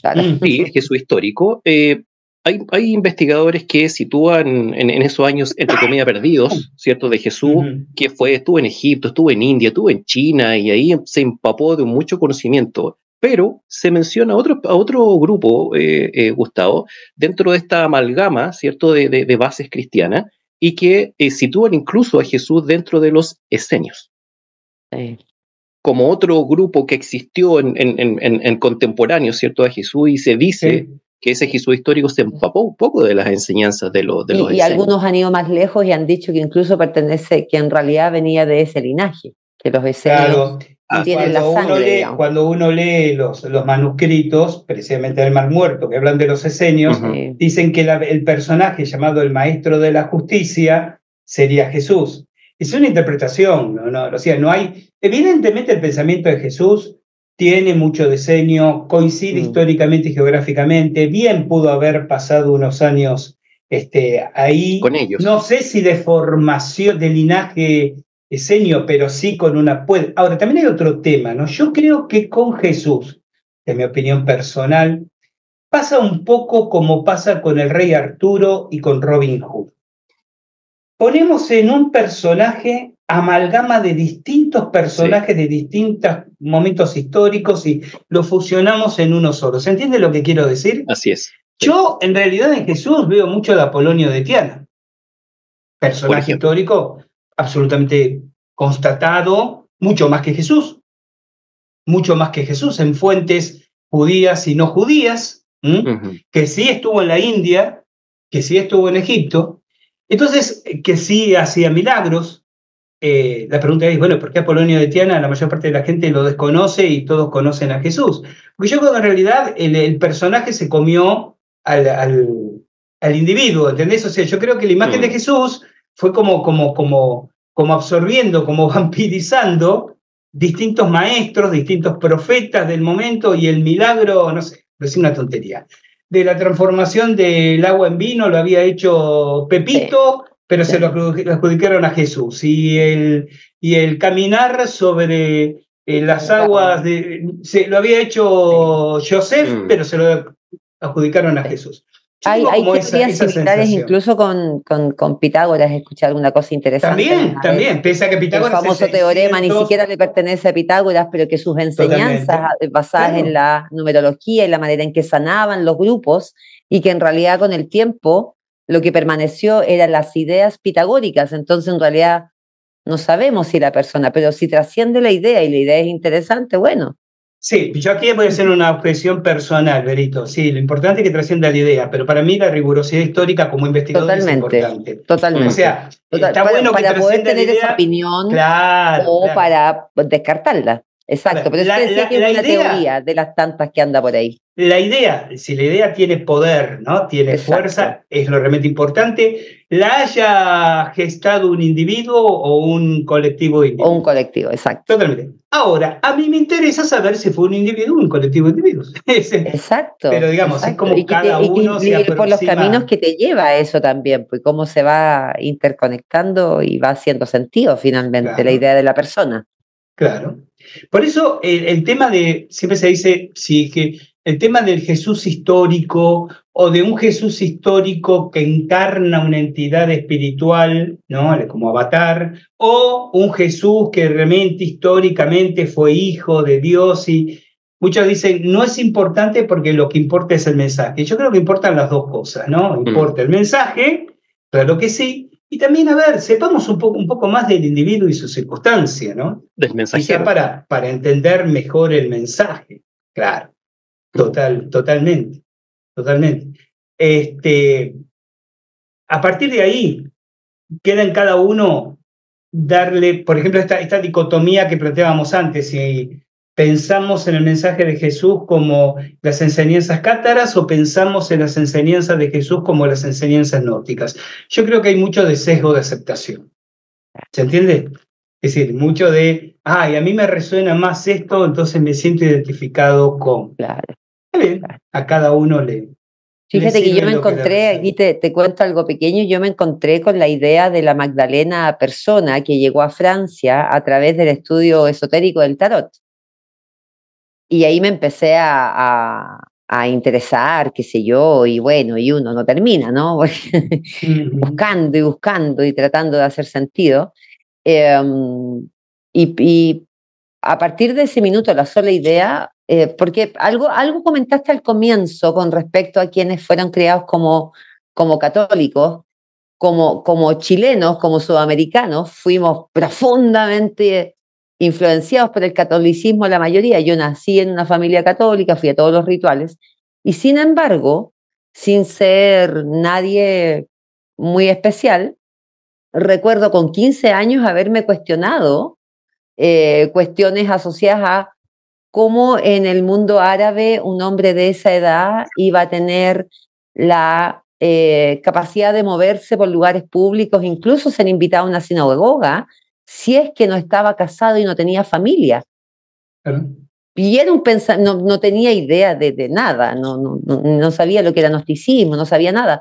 Pero desde el mundo católico, profundamente inserta, tratando de creer, ¿cierto? Porque si uno siente cosas, uno quiere creer. Pero inevitablemente nace la duda. Y, y entonces es posible que desde el corazón, y yo creo que eso es lo que ha pasado, ¿no? Por algo ya no hay tanto la gente está abriendo los ojos, por decirlo de algún modo simple, es porque desde el corazón, si alguien realmente quiere sentir, ¿no? Ese llamado que es humano, sentir aquello que es poderoso. Y nos dijeron que tiene un nombre, que vive en un sillón, que está en las nubes. Bueno, yo quiero creer en eso. Pero luego viene ese aspecto racional del humano, que es natural, ¿cierto? Que es, a ver, espérate. ¿Cómo es posible que el Señor viva en las nubes? Por, por decir una cosa gráfica muy básica, ¿no? Eh, y entonces yo creo que desde el corazón sí se puede cuando la búsqueda es honesta. Y creo que de ahí nace precisamente, eh, nacen las ideas eh, llamadas revolucionarias en su momento. Y que, y que yo creo que el, humano en el fondo, inconscientemente, de algún modo, quiere buscar ese conocimiento. Yo, yo acepto ambas vías, ¿no? El gnosticismo y los cátaros, que como te digo, llegué a través del estudio esotérico del tarot y bueno, eh, entonces uno, uno encuentra eh, similitudes interesantes eh, y yo creo que, que, se busca. Y eso te quería comentar, nada más, como una cosa personal de cómo es que desde el corazón del catolicismo sí se puede generar la duda. Y otra que contarte que fue a través del estudio del tarot esotérico que entré a la idea de la Magdalena y, y, y hacen sentido cosas. Lo que pasa es que es una opción personal. Vos decís, desde el corazón del catolicismo surgen dudas. Y está buenísimo eso. Lástima que mucha gente desde el corazón del, catolicismo jamás se permite dudar. El libre pensador, ¿no? En la íntima convicción del ser, cada uno sabe si quieres salir de la zona del confort o no, esto que hablábamos antes, ¿no? Sí. Y vos decidiste salir de la zona de confort con tus dudas y tus preguntas, y otras personas dicen, no, ¿sabes qué? Déjame ahí, no me... Mm. no me perturbes el statu quo, ¿no? A ver si me tengo que hacer preguntas y cuestionar cosas. Cosas que me incomodan además, porque me remueven. se, me derrumba un mundo que conozco, un mundo que acepté ya. Se me mm. derrumba. Entonces, ¿qué hago y que, me acomoda. Además. Además, una pregunta. Miedo a la eh, incertidumbre ahí, ¿eh? Sí, una pregunta eh, desde lo que tú sientes, a raíz de un poco todo lo que hemos eh, estado conversando y, tomando como, como, como, como bomba que detalló todo esto, eh, detonó, perdón, toda esta conversación, em, que se, venía, mucha gente la viene teniendo hace muchos años, desde el descubrimiento de los rollos del mar muerto, ¿cierto? En Qumran, en Ahmadi, etcétera. ¿Tú crees que la sola, eh, la sola idea revolucionaria de colocar a Jesús como marido de María Magdalena y que tuvieron descendencia es lo más, por así decirlo, espinoso que le estaría doliendo al, al, catolicismo hoy en día? ¿Esa sola referencia generará cosas o puede que haya otras que sean más espinosas, digamos, para el catolicismo en ese sentido? Mm. creo que lo segundo más espinoso. ¿Lo segundo? Lo segundo más espinoso porque implica la idea de una de un Jesús eh, portal de primero. De una dualidad, ¿no? Este femenino masculino, de un sagrado femenino emparentado con el sagrado masculino. Y esto es, a ver, creando vida. Las grandes, eh, los grandes cultos realmente ancestrales. Porque uno dice, ah, el catolicismo es el culto más antiguo, tiene mil años. O sea, ayer, muchachos. Relativamente nuevo. Claro, claro, claro. Es la, es la, novedad. Claro, entonces todos los cultos realmente ancestrales han sido fuertemente matriarcales. Sí. sí. Y más atrás van, y se van a más mil años atrás, y las imágenes que van a encontrar son como las de la, las imágenes que se han encontrado en Francia, en España, de la diosa María, ¿no? La, eh, abundante La diosa abundante, sí, claro. Eh, la diosa paleolítica. caderas, claro, cubierto con mimbre su rostro para, para no ver su rostro. Este, son fuertes imágenes este, femeninas. Y en realidad lo que viene a ser el catolicismo, bueno, creo que muchas de estas religiones nuevas, catolicismo, judaísmo y mismo de esta no se salva ninguna de las tres, es transformándose en religiones solares patriarcales que mm. buscan aplastar el poder femenino. Mm. No solo el poder femenino de la mujer, sino lo que significa el conocimiento y manejo de la dualidad femenino-masculino del ser humano independientemente de sexo o de género. ¿Se entiende? Sí. Este, entonces, ahí hay un poder muy importante que inclusive, voy a hacer un comentario muy poco políticamente correcto, Creo que inclusive estamos en tiempos en que hay cierto wokismo, en que exagera las cosas del otro lado precisamente para que se pierda de vista la sacralidad de ese equilibrio. Sí. ¿Se entiende lo que quiero decir? totalmente. Así es. Bueno, entonces, eh, por eso digo que fue lo segundo. Lo, ¿Y lo primero, ¿qué crees tú que es? Lo primero es el conocimiento cierto de que es un conjunto no de conocimientos espirituales en el sentido de creencias religiosas, de conocimientos espirituales en el sentido de tecnología espiritual que no es oriunda del planeta Tierra. Mm. Yo, el otro día, si quieren, nos extendemos porque hay mucho para ver y para poner en contexto para que no parezca una mirada superficial, ¿no? Pero en el Vaticano profundo, se sabe que en el origen de este conocimiento hay entidades no humanas.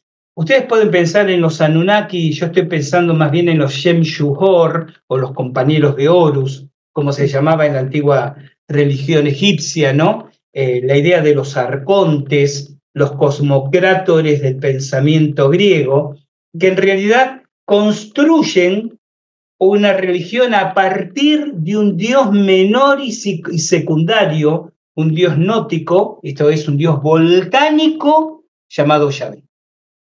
Mm. que lo que queda es el arquetipo finalmente, porque se desfigura. El arquetipo es lo que se crea. Sí, sí, pero espera, quiero, quiero precisar las palabras porque por ahí tengo miedo que no se entienda bien lo que quiero decir. Es decir, toman a una entidad menor y la empoderan como la máxima divinidad.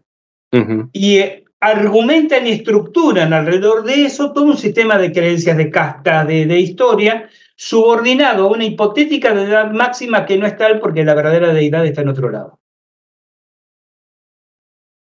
Porque mientras el ser humano no pueda conectar, acercarse, conocer a la verdadera deidad, más fácil es descomprimirle la llave de su propio autoconocimiento. Mm. Bueno, detrás de esto además está la mano eh, oportunista, ¿cierto? De, los, de, los, de los, entre comillas, padres de las iglesias, lo, digo en plural, para la manipulación, obviamente. Y eso eh, creo que hay que decirlo así de, así de directo, eh, por, por, control y un montón de cosas más. Em, la gran pregunta es, ¿qué pasaría si en una gran apertura de conciencia, que supone que es lo que está empujando de a poquito esta nueva era, eh, las personas llegaran, se acercaran a la posibilidad de lo que tú estás diciendo, ¿qué pasaría en, la, estructura? Pensemos qué pasaría en el Vaticano con 300.000 personas afuera diciendo, no ha engañado durante dos mil y tantos años. Y la verdad es que este señor, como dice, por ejemplo, J. Benítez, que dice, Yahvé son un conjunto de personajes. Él, le llama el equipo, el equipo ya ve. Eh, Dios.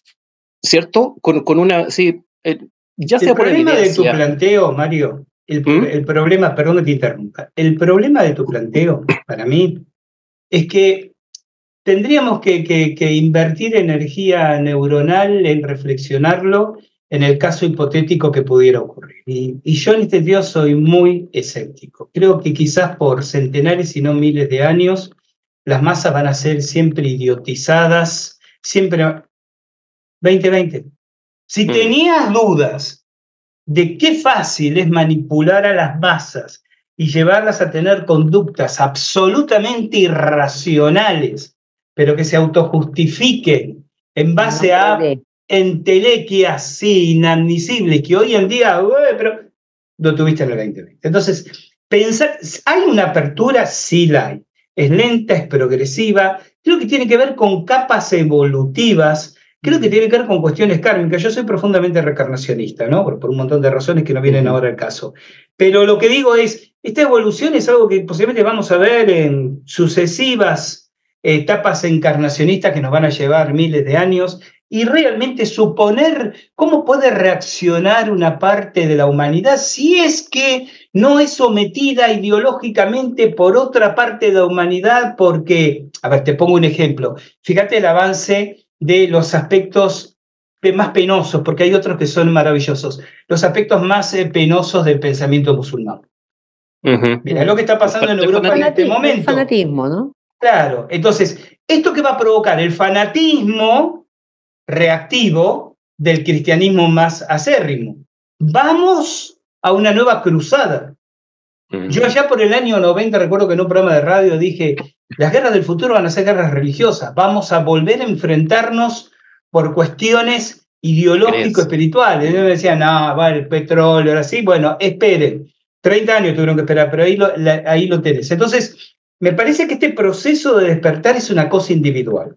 Mm. que no, realmente yo no veo que vaya a alcanzar un punto, por lo menos hasta donde puedo especular hacia adelante, en que las masas se reúnan frente al Vaticano a decir nos han engañado, porque antes de que llegue ese momento, lo van a convencer de otra cosa. Bueno, desde el budismo se supone que viene esa, esa, enseñanza, ¿no? Que en el fondo es como, es como un sistema de capas porque es casi que un tema de equilibrio y casi que nos podríamos poner ahí a hablar del, de la espiral, no reencarnacionista también, en el sentido de unos van para allá, otros van para acá, otros se mueven antes, otros se mueven después. Y, desde ese punto de vista hace sentido que siempre eh, hayan masas críticas que se mueven con una tendencia y otras que quizás van saliendo, pero luego hay una progresión de poderes también entonces a veces el poder está cargado para acá y entonces masas se mueven de este modo. Desde ese punto de vista eh, hace sentido eso en realidad, que, que la cosa masiva eh, suceda como en capas. Es decir, de suceder, pero de suceder. en realidad es la acumulación de experiencias individuales y personales. Claro. Porque este es otro punto. Hay que entender que el, salto cuántico de conciencia, ¿no? Todas estas frases que están tan de moda, es personal. Si no estamos esperando de que nos juntemos, vámonos todos juntos al salto cuántico. No, es un trabajo, una decisión, algo personal. Cómo trabajas tu karma, cómo lo reconoces, cómo lo, lo aceptás, cómo reconcilias la idea de que quiero ser solidario con el mundo, pero también tengo que entender que el mundo se tiene que hacer parte de su este, cargo de su propio karma. Miren, es algo de tema, si me dan dos minutitos, les cuento una anécdota. Ahí se abre la puerta, ahí se abre la puerta del albedrío, ¿no? Hubo algo que a mí me sacudió, me sacudió terriblemente las neuronas y todavía, y tengo que decir la verdad, todavía no tengo una respuesta para esto que voy a plantear ahora. En el año 2017 hice una formación eh, en medicina ayurvédica en la India, ¿no? en la Universidad de Kerala, en el sur de la India. Bueno, en una de las clases lo teníamos de profesor al director de la Escuela de, Medicina Ayurvédica, eh, Ram Manohar, su nombre. Entonces el tipo nos estaba leyendo lo que era como el libro fundacional de la medicina ayurvédica, el Ashtanga Hidraya, un libro escrito hace 2500 años, ¿no? El tipo tenía el libraco, eh, escrito en sánscrito, pero él iba hablando en inglés, entonces nos iba este, relatando lo que el monje había escrito originalmente y lo que estamos ahí, íbamos tomando nota. Entonces decía, el médico, se refería al médico ayurvédico, debe ser limpio, es puro de palabra y de actos. Ah, sí, bastante lógico. El médico, siempre refiriéndose al ayurvédico, debe eh, ser amable con todos sus eh, pacientes, dedicarles todo el tiempo que se merecen, si es necesario debe sacrificar sus tiempos personales, todo bien. Pero nos daban así recomendaciones. Y en un momento dice, leyendo el libro, el médico debe cobrar cara su consulta. Cuando dice eso, varios de los que estábamos ahí, que venimos de países con medicina socializada, medicina pública gratuita, saltamos. ¿Cómo que cobrar caro? ¿Y qué pasa con el pobre que, que no, no, no, no puede acceder a la medicina ayurvédica? No, pero eso no es justo, nada. Y el lindo, calladito la boca, dejó que pasara la tormenta este, progresista y dice, yo podría responderles diciendo que hay otras formas y otras líneas de medicina. Esto aplica solo a la ayurvédica. Pero voy a hacerles reflexionar sobre otras cosas. ¿Cuántos de todos ustedes son reencarnacionistas? Levantamos toda la mano, éramos como 40, ¿no?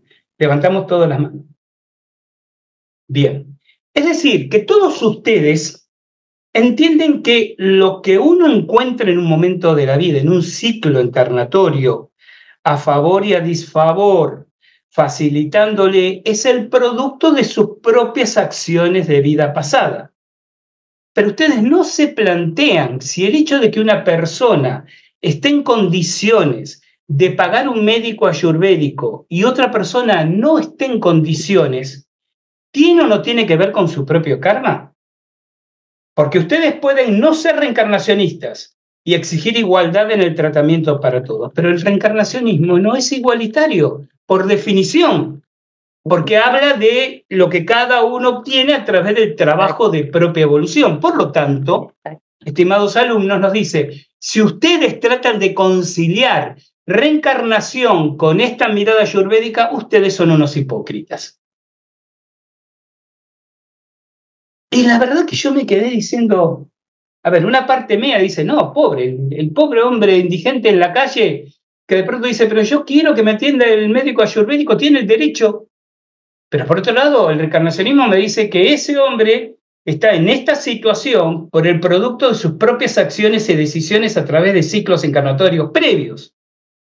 Entonces, una cosa es que yo le diga, mira, vamos a tratar de facilitarte una atención, una asistencia, pero otra cosa es que yo exija igualdad kármica, porque mm. vio en el principio fundacional del karma, ¿entienden? Sí. Lo que yo vi, después charlando con un par de compañeros, es la que todos quedamos igual, choqueados. Digo, ¿cómo no nos hacemos las preguntas realmente importantes en el ambiente de la espiritualidad? Mm. Porque fíjense que esta misma pregunta, yo lo dije recién, yo, usted me dice, y Gustavo, ¿y hoy cómo conciliar? No, no termino de encontrar eh, la conciliación, o me resisto por lo menos a encontrar la conciliación entre una cosa y otra. Estoy seguro que cualquiera que, porque insisto, si una persona dice yo no soy reencarnacionista, perfecto, tiene todo su derecho a tener esa mirada igualitaria. Si una persona dice no, no, yo soy sincera y consciente y coherentemente reencarnacionista, no puede tener una mirada igualitaria.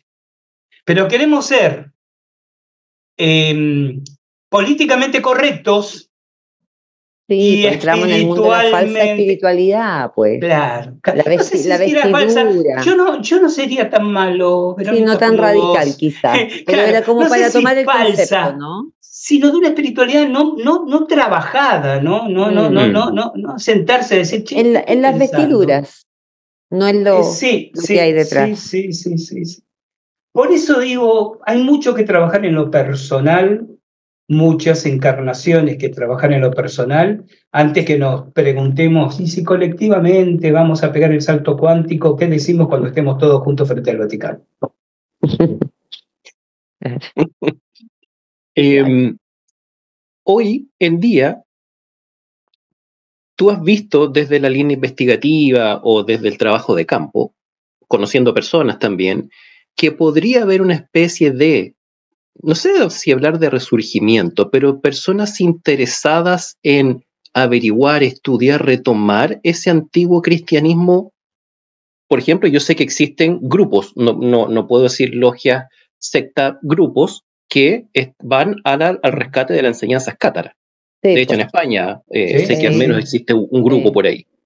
Eh, ¿Tú crees que hay, hay alguna intención desde la conciencia de lo que estamos hablando ahora, por ejemplo, ir realmente a las bases y al rescate de ese antiguo cristianismo sin llamarlo esotérico? Yo creo que hay muchísimo. Eh, ¿Por qué no llamarlo esotérico? Este, no le tengamos miedo al término.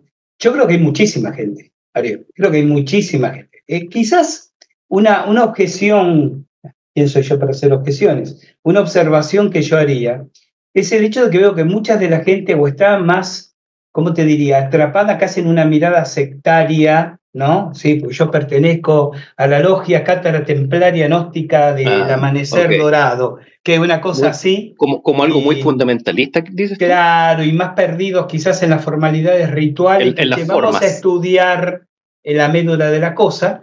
Y también observo que hay muchas personas que se enamoran, por ejemplo, ¿no? Del pensamiento cátaro, pero no dicen, pero vamos a ver todas las opciones. Vamos a, lo que decíamos, vamos a interiorizarnos sobre los gnósticos, encontrar, sí, ¿no? Pero que hay mucha gente, sí, sí, seguro. Hagamos una carbonada, es un dicho de campo, ¿ah? pero es como Mezclemos, de todo un poco, ¿no? A ver si sale algo. Lo que pasa es que yo creo que hay, hay mucha gente que, que se, se, reconoce quizás como cristiana, como católica, cuando logra salir de la cápsula eh, de, de, su, de, su, enseñanza infantil, ¿no? O a veces de la limitación de, de la mirada familiar, porque recordemos que mucho, en, en gran medida las creencias religiosas están absolutamente eh, talladas por los mandatos familiares. Mm, es decir, como tradición, gente casi. cree lo que la familia le dijo que tenía que creer, ¿no? Hay poco nivel de cuestionamiento. Esto va de la mano que para mucha gente lo espiritual es casi una cosa paralela y sí, bueno, sí, tengo que ser de tal religión o de vez en cuando tengo que ir a misa, pero no hay un compromiso con la actividad espiritual. No obstante lo cual, no obstante lo cual, creo que hay muchas personas que dicen, sí, pero hay cosas que no me cierran. ¿Y saben cuál es la prueba más evidente? La cantidad de gente que se identifica como católica, como cristiana, pero no practica regularmente su culto. Cuando dicen soy católico de mi manera. Claro. Que son la mayoría. Que no está mal. Quizás uno, le diría, bueno, trata de definir mejor cuál es tu manera, ¿no? Trata de darle sustancia, pero está cuando te convenga. Claro, pero esa, esa gente que dice yo soy cristiano a mi manera, este, mm. que es como decir yo soy católico y no ejerzo, ¿no? Este, Pero es, esa persona con eso está reconociendo que no le cierra el mm. discurso. No termina de cuadrar, de hacer, una coherencia. Exacto. No obstante lo cual. Hay, pero hay cuestiones que le mueven. Porque hay algo de verdad entre, la entre las malas traducciones, entre, la, entre las eh, censuras. Siente que hay algo, siente que en algún lugar palpita una verdad. Sí, Algunos se toman el trabajo de despejar el terreno y buscarla y otros no, pero bueno, es también otra vez albedrío, ¿no? Decisión personal, busco o no busco, trabajo o no trabajo esto. ¿Cuál es, ¿Cuál es tu opinión de la teología? Porque fíjate que algunos de los conceptos más interesantes que a mí me han ayudado a entender ideas los he obtenido de algunos, de algunos eh, profesores, qué sé yo, algunas cositas. ¿Y qué, cuál es tu opinión de la, de la... teología? Mi opinión es muy concreta y muy simple y muy llana, Verónica. Yo creo que la teología es un monumental esfuerzo intelectual para darle una supuesta rigurosidad académica y un marco filosófico a la creencia y que se termina transformando la teología en un complicado discurso bizantino discutiendo el sexo de los ángeles. Como, la, una, pretendida ciencia. Claro, por eso la expresión ciencia teológica no, es, perdón, la ciencia es empirismo. La ciencia es empirismo. Bueno, pero que en realidad no, porque eso es discurso, eso es sofisma, ¿no? Eh, eso pertenece al campo de la filosofía, está bien, si quieren que entremos en eso, pero no es ciencia, ¿no? Como, como tal. Este ¿Sientes tú, Gustavo, que a través del, del, tiempo, de todo lo que hemos conversado hasta el momento, el cristianismo todavía mantiene una mirada medieval? Y yo creo que si recuperara la mirada medieval, prosperaría.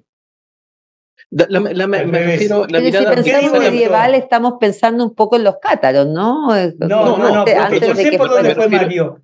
Sí, desde el sofismo, como tú decías, desde, el ortodoxo duro, que desde aquí no nos, no nos movemos y seguimos con nuestro discurso per se a través del tiempo, tratando justamente de darle sustento a algo que no cuadra. A eso me refiero.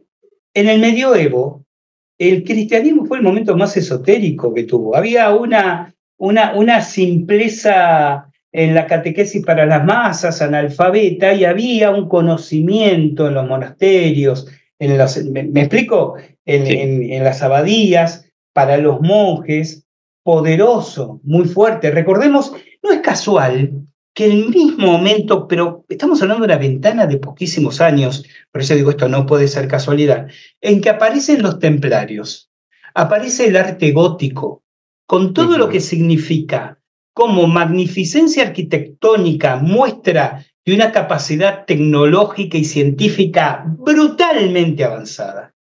Porque ahí estamos con, con, otra cosa, ¿no? Esto de pensar en el medioevo como una época oscura, de ignorantes, supersticiones, era una civilización distinta. Había una élite con poderosos conocimientos y una masa, claro que sí, sumida en la oscuridad. Pero los conocimientos que manejaba esa élite eran poderosísimos. Y acá algo interesante, el, el arte gótico. Hay una expresión, todavía la seguimos usando, disculpen, que es la palabra argot. Mm. ¿Qué significa la palabra argot? Argot es un lenguaje, un idioma que solo conocen unos pocos para transmitirse determinados conocimientos. Eso significa argot. Pero la palabra argot es la conjunción de las expresiones art, got, es decir, arte gótico. es decir, ese lenguaje era la manera de transmitir conocimientos encerrado en los simbolismos del arte gótico que de algún lugar trajeron los templarios.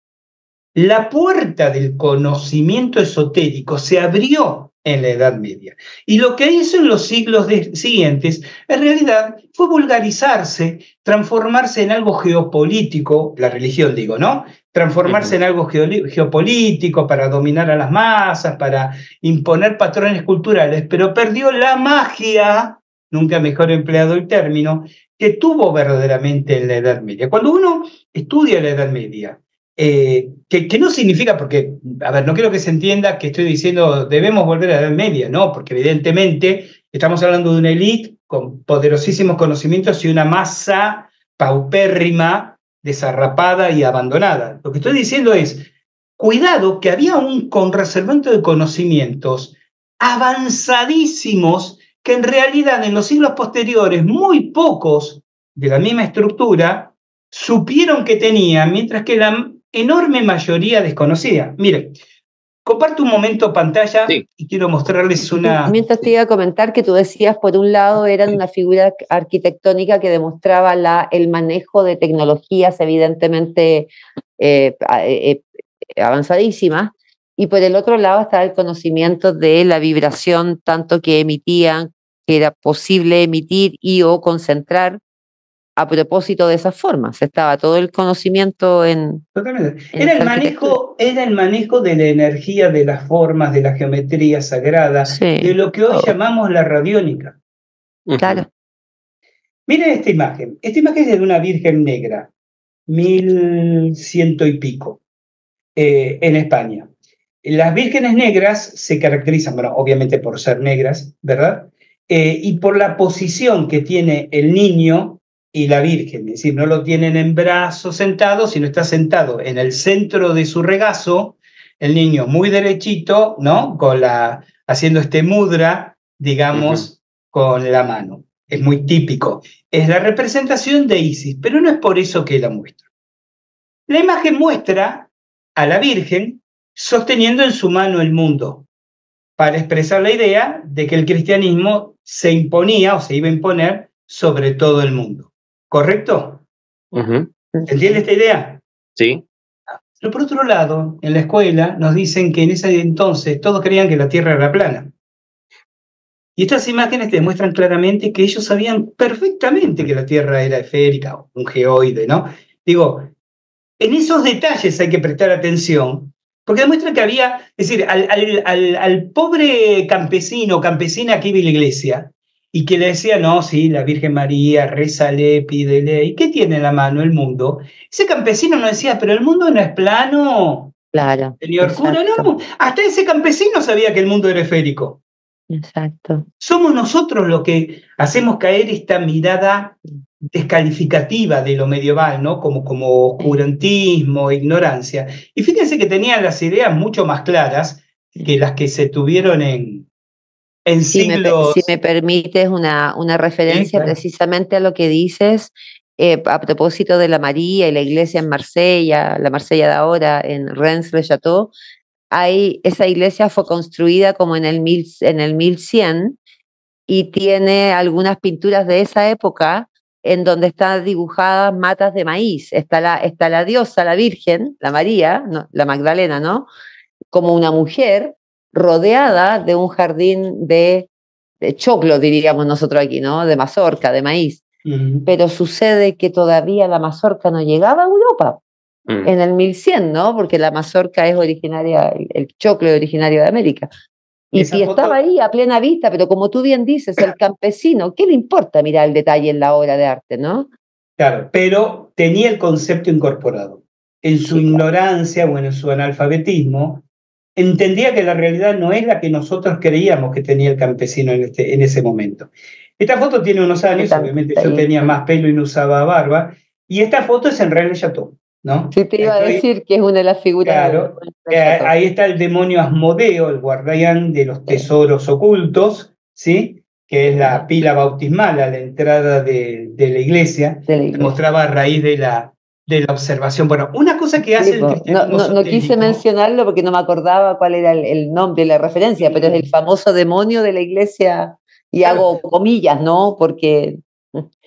Una de las cosas interesantes, yo no aparté muchas fotos de, de Range de Chateau ahora, pero quiero citar esto, es que además el cristianismo esotérico eh, explica cómo lo gestual, por ejemplo, la posición de Asmodeo, descubriéndose la rodilla, izquierda.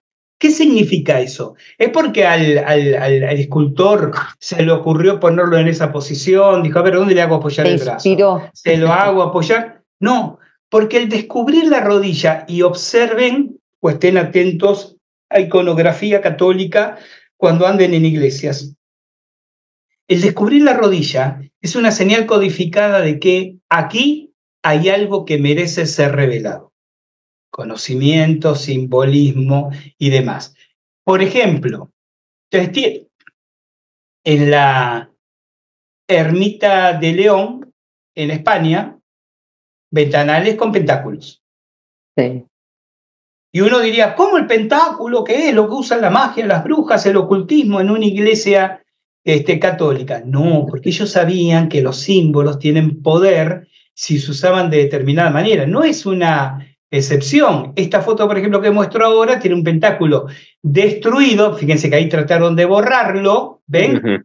En la iglesia de Tomar, en Portugal. Iglesia también templaria. Bueno, y así podríamos dar otros. Ah, un comentario que había empezado y después me fui por, por las ramas. Yo estaba hablando del caracol. ¿Se acuerda? Eh, la espiral. Decía la iglesia espiral, exactamente como uno de los símbolos junto con el octógono, omnipresente en, la, en el cristianismo esotérico.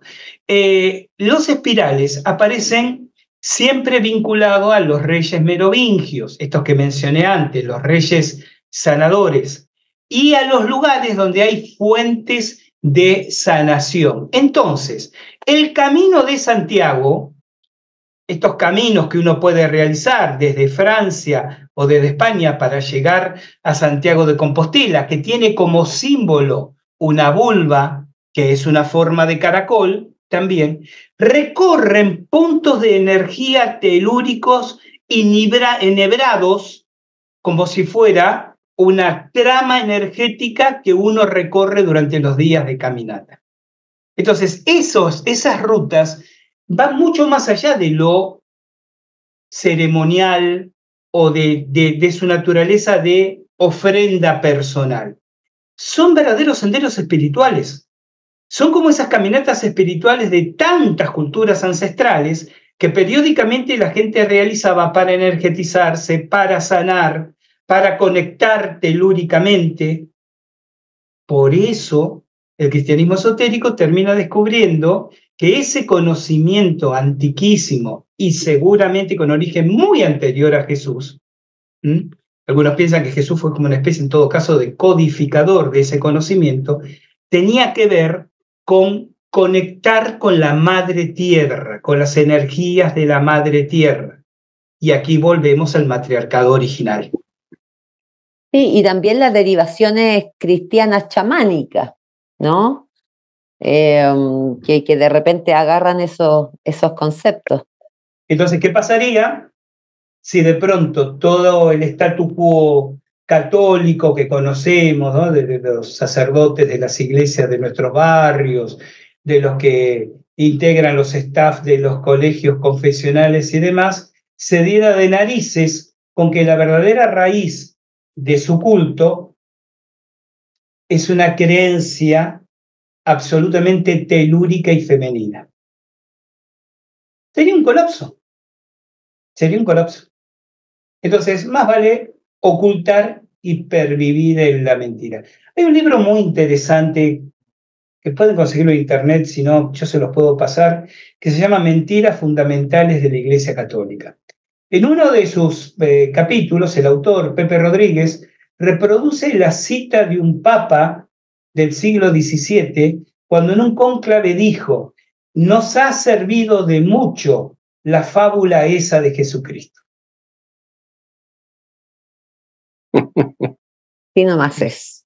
El que tenga oídos que escuche, sí. Así es. Sí, por eso yo siempre digo que evidentemente la política es la que movió lo que, lo que es hoy día la iglesia, pero como tú bien decías, hay que, hay que dudar, hay que cuestionar y luego hay que informarse, porque la información está disponible. Si eso, eso es lo que eh, es, parte de lo que conversamos muchas veces, la información está disponible, si no es que uno tenga que, sí, quizás para, para muchos eh, eh, investigadores como tú, que además ha podido ir a los lugares y tocarlo, ¿cierto? Verlo con sus propios ojos, pero sí hay, hay, creo yo, suficiente información disponible, incluso como libre pensador, tomar una Biblia, la del rey James, la que sea, no importa cuánta censura tenga, Sí, leerla y pensarla. Léala, y, claro, y trate de, de, cómo pensaría este, a qué se referiría este, con, con decir esto. Y, ahí está. Y luego hoy día, bueno, hay, hay información de sobra. Como Yo creo que anda un meme por ahí que dice, ¿se acuerdan cuando se acuerdan cuando pensábamos que era la falta de información el problema? El problema de la ignorancia humana. en realidad, yo creo que el camino de cambio y de crecimiento empieza con el cuestionamiento y con la duda sana y crítica. Mm. Luego, hasta dónde llega la persona, cuánto esfuerzo dedica, es una decisión personal, tiene que ver cuánto significa en lo personal eso como, como valor agregado a su vida. Hay personas que dirán, bueno, es algo paralelo a otros temas que son de más interés para mí, y habrá otras personas que decimos, no, esto es radicalmente importante. Pero desde el momento que, como dice Verónica, uno cuestiona y dice, a ver, vamos a empezar a leer y a repensar lo que a veces aceptamos así sin cuestionamiento, ya hay un comienzo de transformación. Claro que sí. Así es. Un, em, poco, ahí lo vamos a tomar como, como para sumarlo a nuestro lema. Nosotros intentamos siempre a los alumnos decirle, nosotros no les estamos enseñando un dogma ni una religión, estamos poniéndoles hechos que han sido estudiados por investigadores serios, porque no, no, andamos buscando el estudio que no tiene nombre ni origen en, en, en un video. Tampoco. en un video, digamos. Mm. Y es válido analizar una teoría conspirativa, pero analizarla, no quedarse con que Juanito dijo qué, sino que decir, a ver, espérate, podría ser, busquemos qué hechos, qué cuestiones, qué elementos están. Porque si no encontrás argumentos para refutarla, significa que el conspiracionista tiene razón. exactamente, tal cual, tal cual. Así es. Exactamente. Em, Gustavo, para, para finalizar eh, este, este entretenido tema de conversación que ha sido el cristianismo esotérico, eh, nos encantaría que les eh, comentaras a quienes nos han estado, que yo, como hemos ido ahí uno tras de otro, las, personas nos, han ido saludando ahí en, en, en, los comentarios. ¿Qué actividades tienes próximamente, Gustavo, ya sea en Argentina, fuera, cursos, qué sé yo, etcétera, que pudieras compartir con, la, gente que quisiera y los datos Y los datos de cómo contactar. Sí, dónde te pueden encontrar también.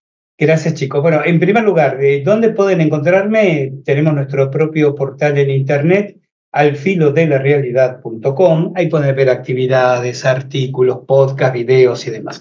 Alfilodelarealidad.com. No .com.ar, .com, simplemente. Bien. También, por supuesto, en redes sociales, me encuentran en Instagram, arroba Gustavo Fernández Oficial, en Facebook, este, en X, en Twitter, em, como Gus Fernández AFR. Pero pueden ir ahí directamente al filo de la realidad que tienen todos los iconos que nos van a enviar a donde quieren. Como actividades, bueno, ahora en lo inmediato, el 28 de octubre, comienzo un seminario virtual de tres días sobre rituales de solsticio y Navidad, ¿no? Hablando de la magia aplicada en el esoterismo, vamos a realizar esta, eh, este evento, son tres clases de dos horas, dos horas y media de duración cada una, donde pensamos, compartimos y desarrollamos distintos rituales para aprovechar ese portal de días tan interesante que va del 21 al 25 de diciembre. Y ya inmediatamente después comienza una agenda de viajes. Voy a estar ahora en noviembre en México dictando una formación en guías de Temazcal y dos talleres de quirología. Bueno, luego en enero estaré en Ecuador realizando también formaciones de guía de Temazcal, instructorado en autodefensa psíquica, presentando dos nuevos libros míos que salen ahora a fin de mes. Uno llamado El Camino del Temazcal, que obviamente habla del tema de la ceremonia del Temazcal, su desarrollo, su historia y mi vivencia. tolteca, Gustavo? Claro, desde, desde el abordaje tolteca. Y el otro libro se titula La civilización perdida del Uritorco y refleja los hallazgos que con nuestro equipo de Proyecto Zona Uritorco, nuestro grupo de trabajo, realizamos de alineamientos megalíticos eh, anteriores a los horizontes culturales conocidos en la zona de Capilla del Monte, en la provincia de Córdoba. Bueno, y luego después de Ecuador tengo marzo Islas Canarias, abril eh, Brasil, junio Colombia. Bueno, pero todo eso se va actualizando en el portal por si alguno de los oyentes les queda eh, geográficamente a tiro acercarse a alguna de las actividades, viendo simplemente la información de actividades en nuestro portal, puede tener todos los detalles. Excelente. clarísimo, clarísimo. Harto, movimiento. Harta, harto movimiento, harta información y yo creo que ahí las personas pueden después retroceder el video y buscar el, sitio y escucharlo una y otra vez porque está interesante. Yo quería por supuesto, a disposición de cualquiera de sus inquietudes o preguntas. Quizás tengan un poco de paciencia si demoro en responder, pero siempre respondo todas las, las consultas. Fantástico. Fíjate que precisamente iba a comentar que estuvimos tan, tan insertos en, la conversación, tan interesante el espacio que creaste. Nosotros habitualmente hacemos alguna pausa, saludamos a las personas. Hay personas que nos preguntan, pero estuvimos tan... No, no, no, lo, digo como un halago. Lo digo como un halago, porque, porque pasó, ¿cierto? Así es que eh, yo creo que nuestros seguidores estaban igual y, de todos modos las preguntas las pueden, se pueden responder después si es que alguien quedó con alguna duda como dijo eh, Gustavo, el portal de la luz.com. No, al, no. Al filo de la realidad. voy, a ir a, curiosear al portal de la luz a ver de qué se trata. Seguro venden velas. Es posible. O a la luz del ermitaño, ¿no? Pero estoy como publicista pésimo. Yo, como Pablo de Tarso, me muero de hambre. Pero como esto permite que uno repita por cuarta vez al filo de la realidad, entonces es extremadamente Al filo de la realidad.com. Bueno, Se me eh, cruzaron ideas, tengo millones de ideas, me, contuve. Créeme que me contuve. Gustavo, te queremos agradecer enormemente tu tiempo, la entretenida, interesante y necesaria conversación siempre sobre, sobre estos temas que muchas veces no, no, es, eh, no es fácil, eh, digamos, que se den los espacios para tocar este tipo de, de, de temas, de conocimiento. Así que ha sido para nosotros un gusto, como siempre, seguramente para las personas que nos siguen en nuestras redes y obviamente los contactos que tú has dejado también hayan disfrutado también de esta conversación. De mi parte, nuevamente agradecido por tu disposición, por tu tiempo. Muchas gracias. Chicos, yo, también te quiero agradecer. Perdón, te interrumpí de nuevo. Eh, no. también te quiero agradecer y estoy segura que también la gente que nos sigue va a estar muy agradecida y definitivamente, creo yo, eh, quedan tantos temas de, de todas las ramas que no se tocaron Em, que, definitivamente da para una nueva invitación, si tú, me permites aquí decirte de inmediato que nos encantaría tenerte de nuevo en alguna oportunidad. Muchas gracias. Les decía que, por el contrario, el deudor soy yo de ustedes, de su amabilidad, de su calidez. Eso es para mí lo primero y lo más importante, eh, luego de crear este espacio y permitirme acercar una mirada que espero nutra a la gente linda que, que le siga. Así que desde el alma, gracias sinceramente, Verónica, Mario, y por supuesto, quedo a disposición para cuando sea menester. ¿Mm? Muchas gracias. Te, una próxima invitación. Un abrazo, Gustavo. Muchas gracias y muchas gracias a todos y todas quienes nos han acompañado en el programa de hoy de A la Luz del Ermitaño con Gustavo. Un abrazo a todos. Muchas gracias. Que esté muy bien. Gustavo. Chao, Mario. Chao, chao.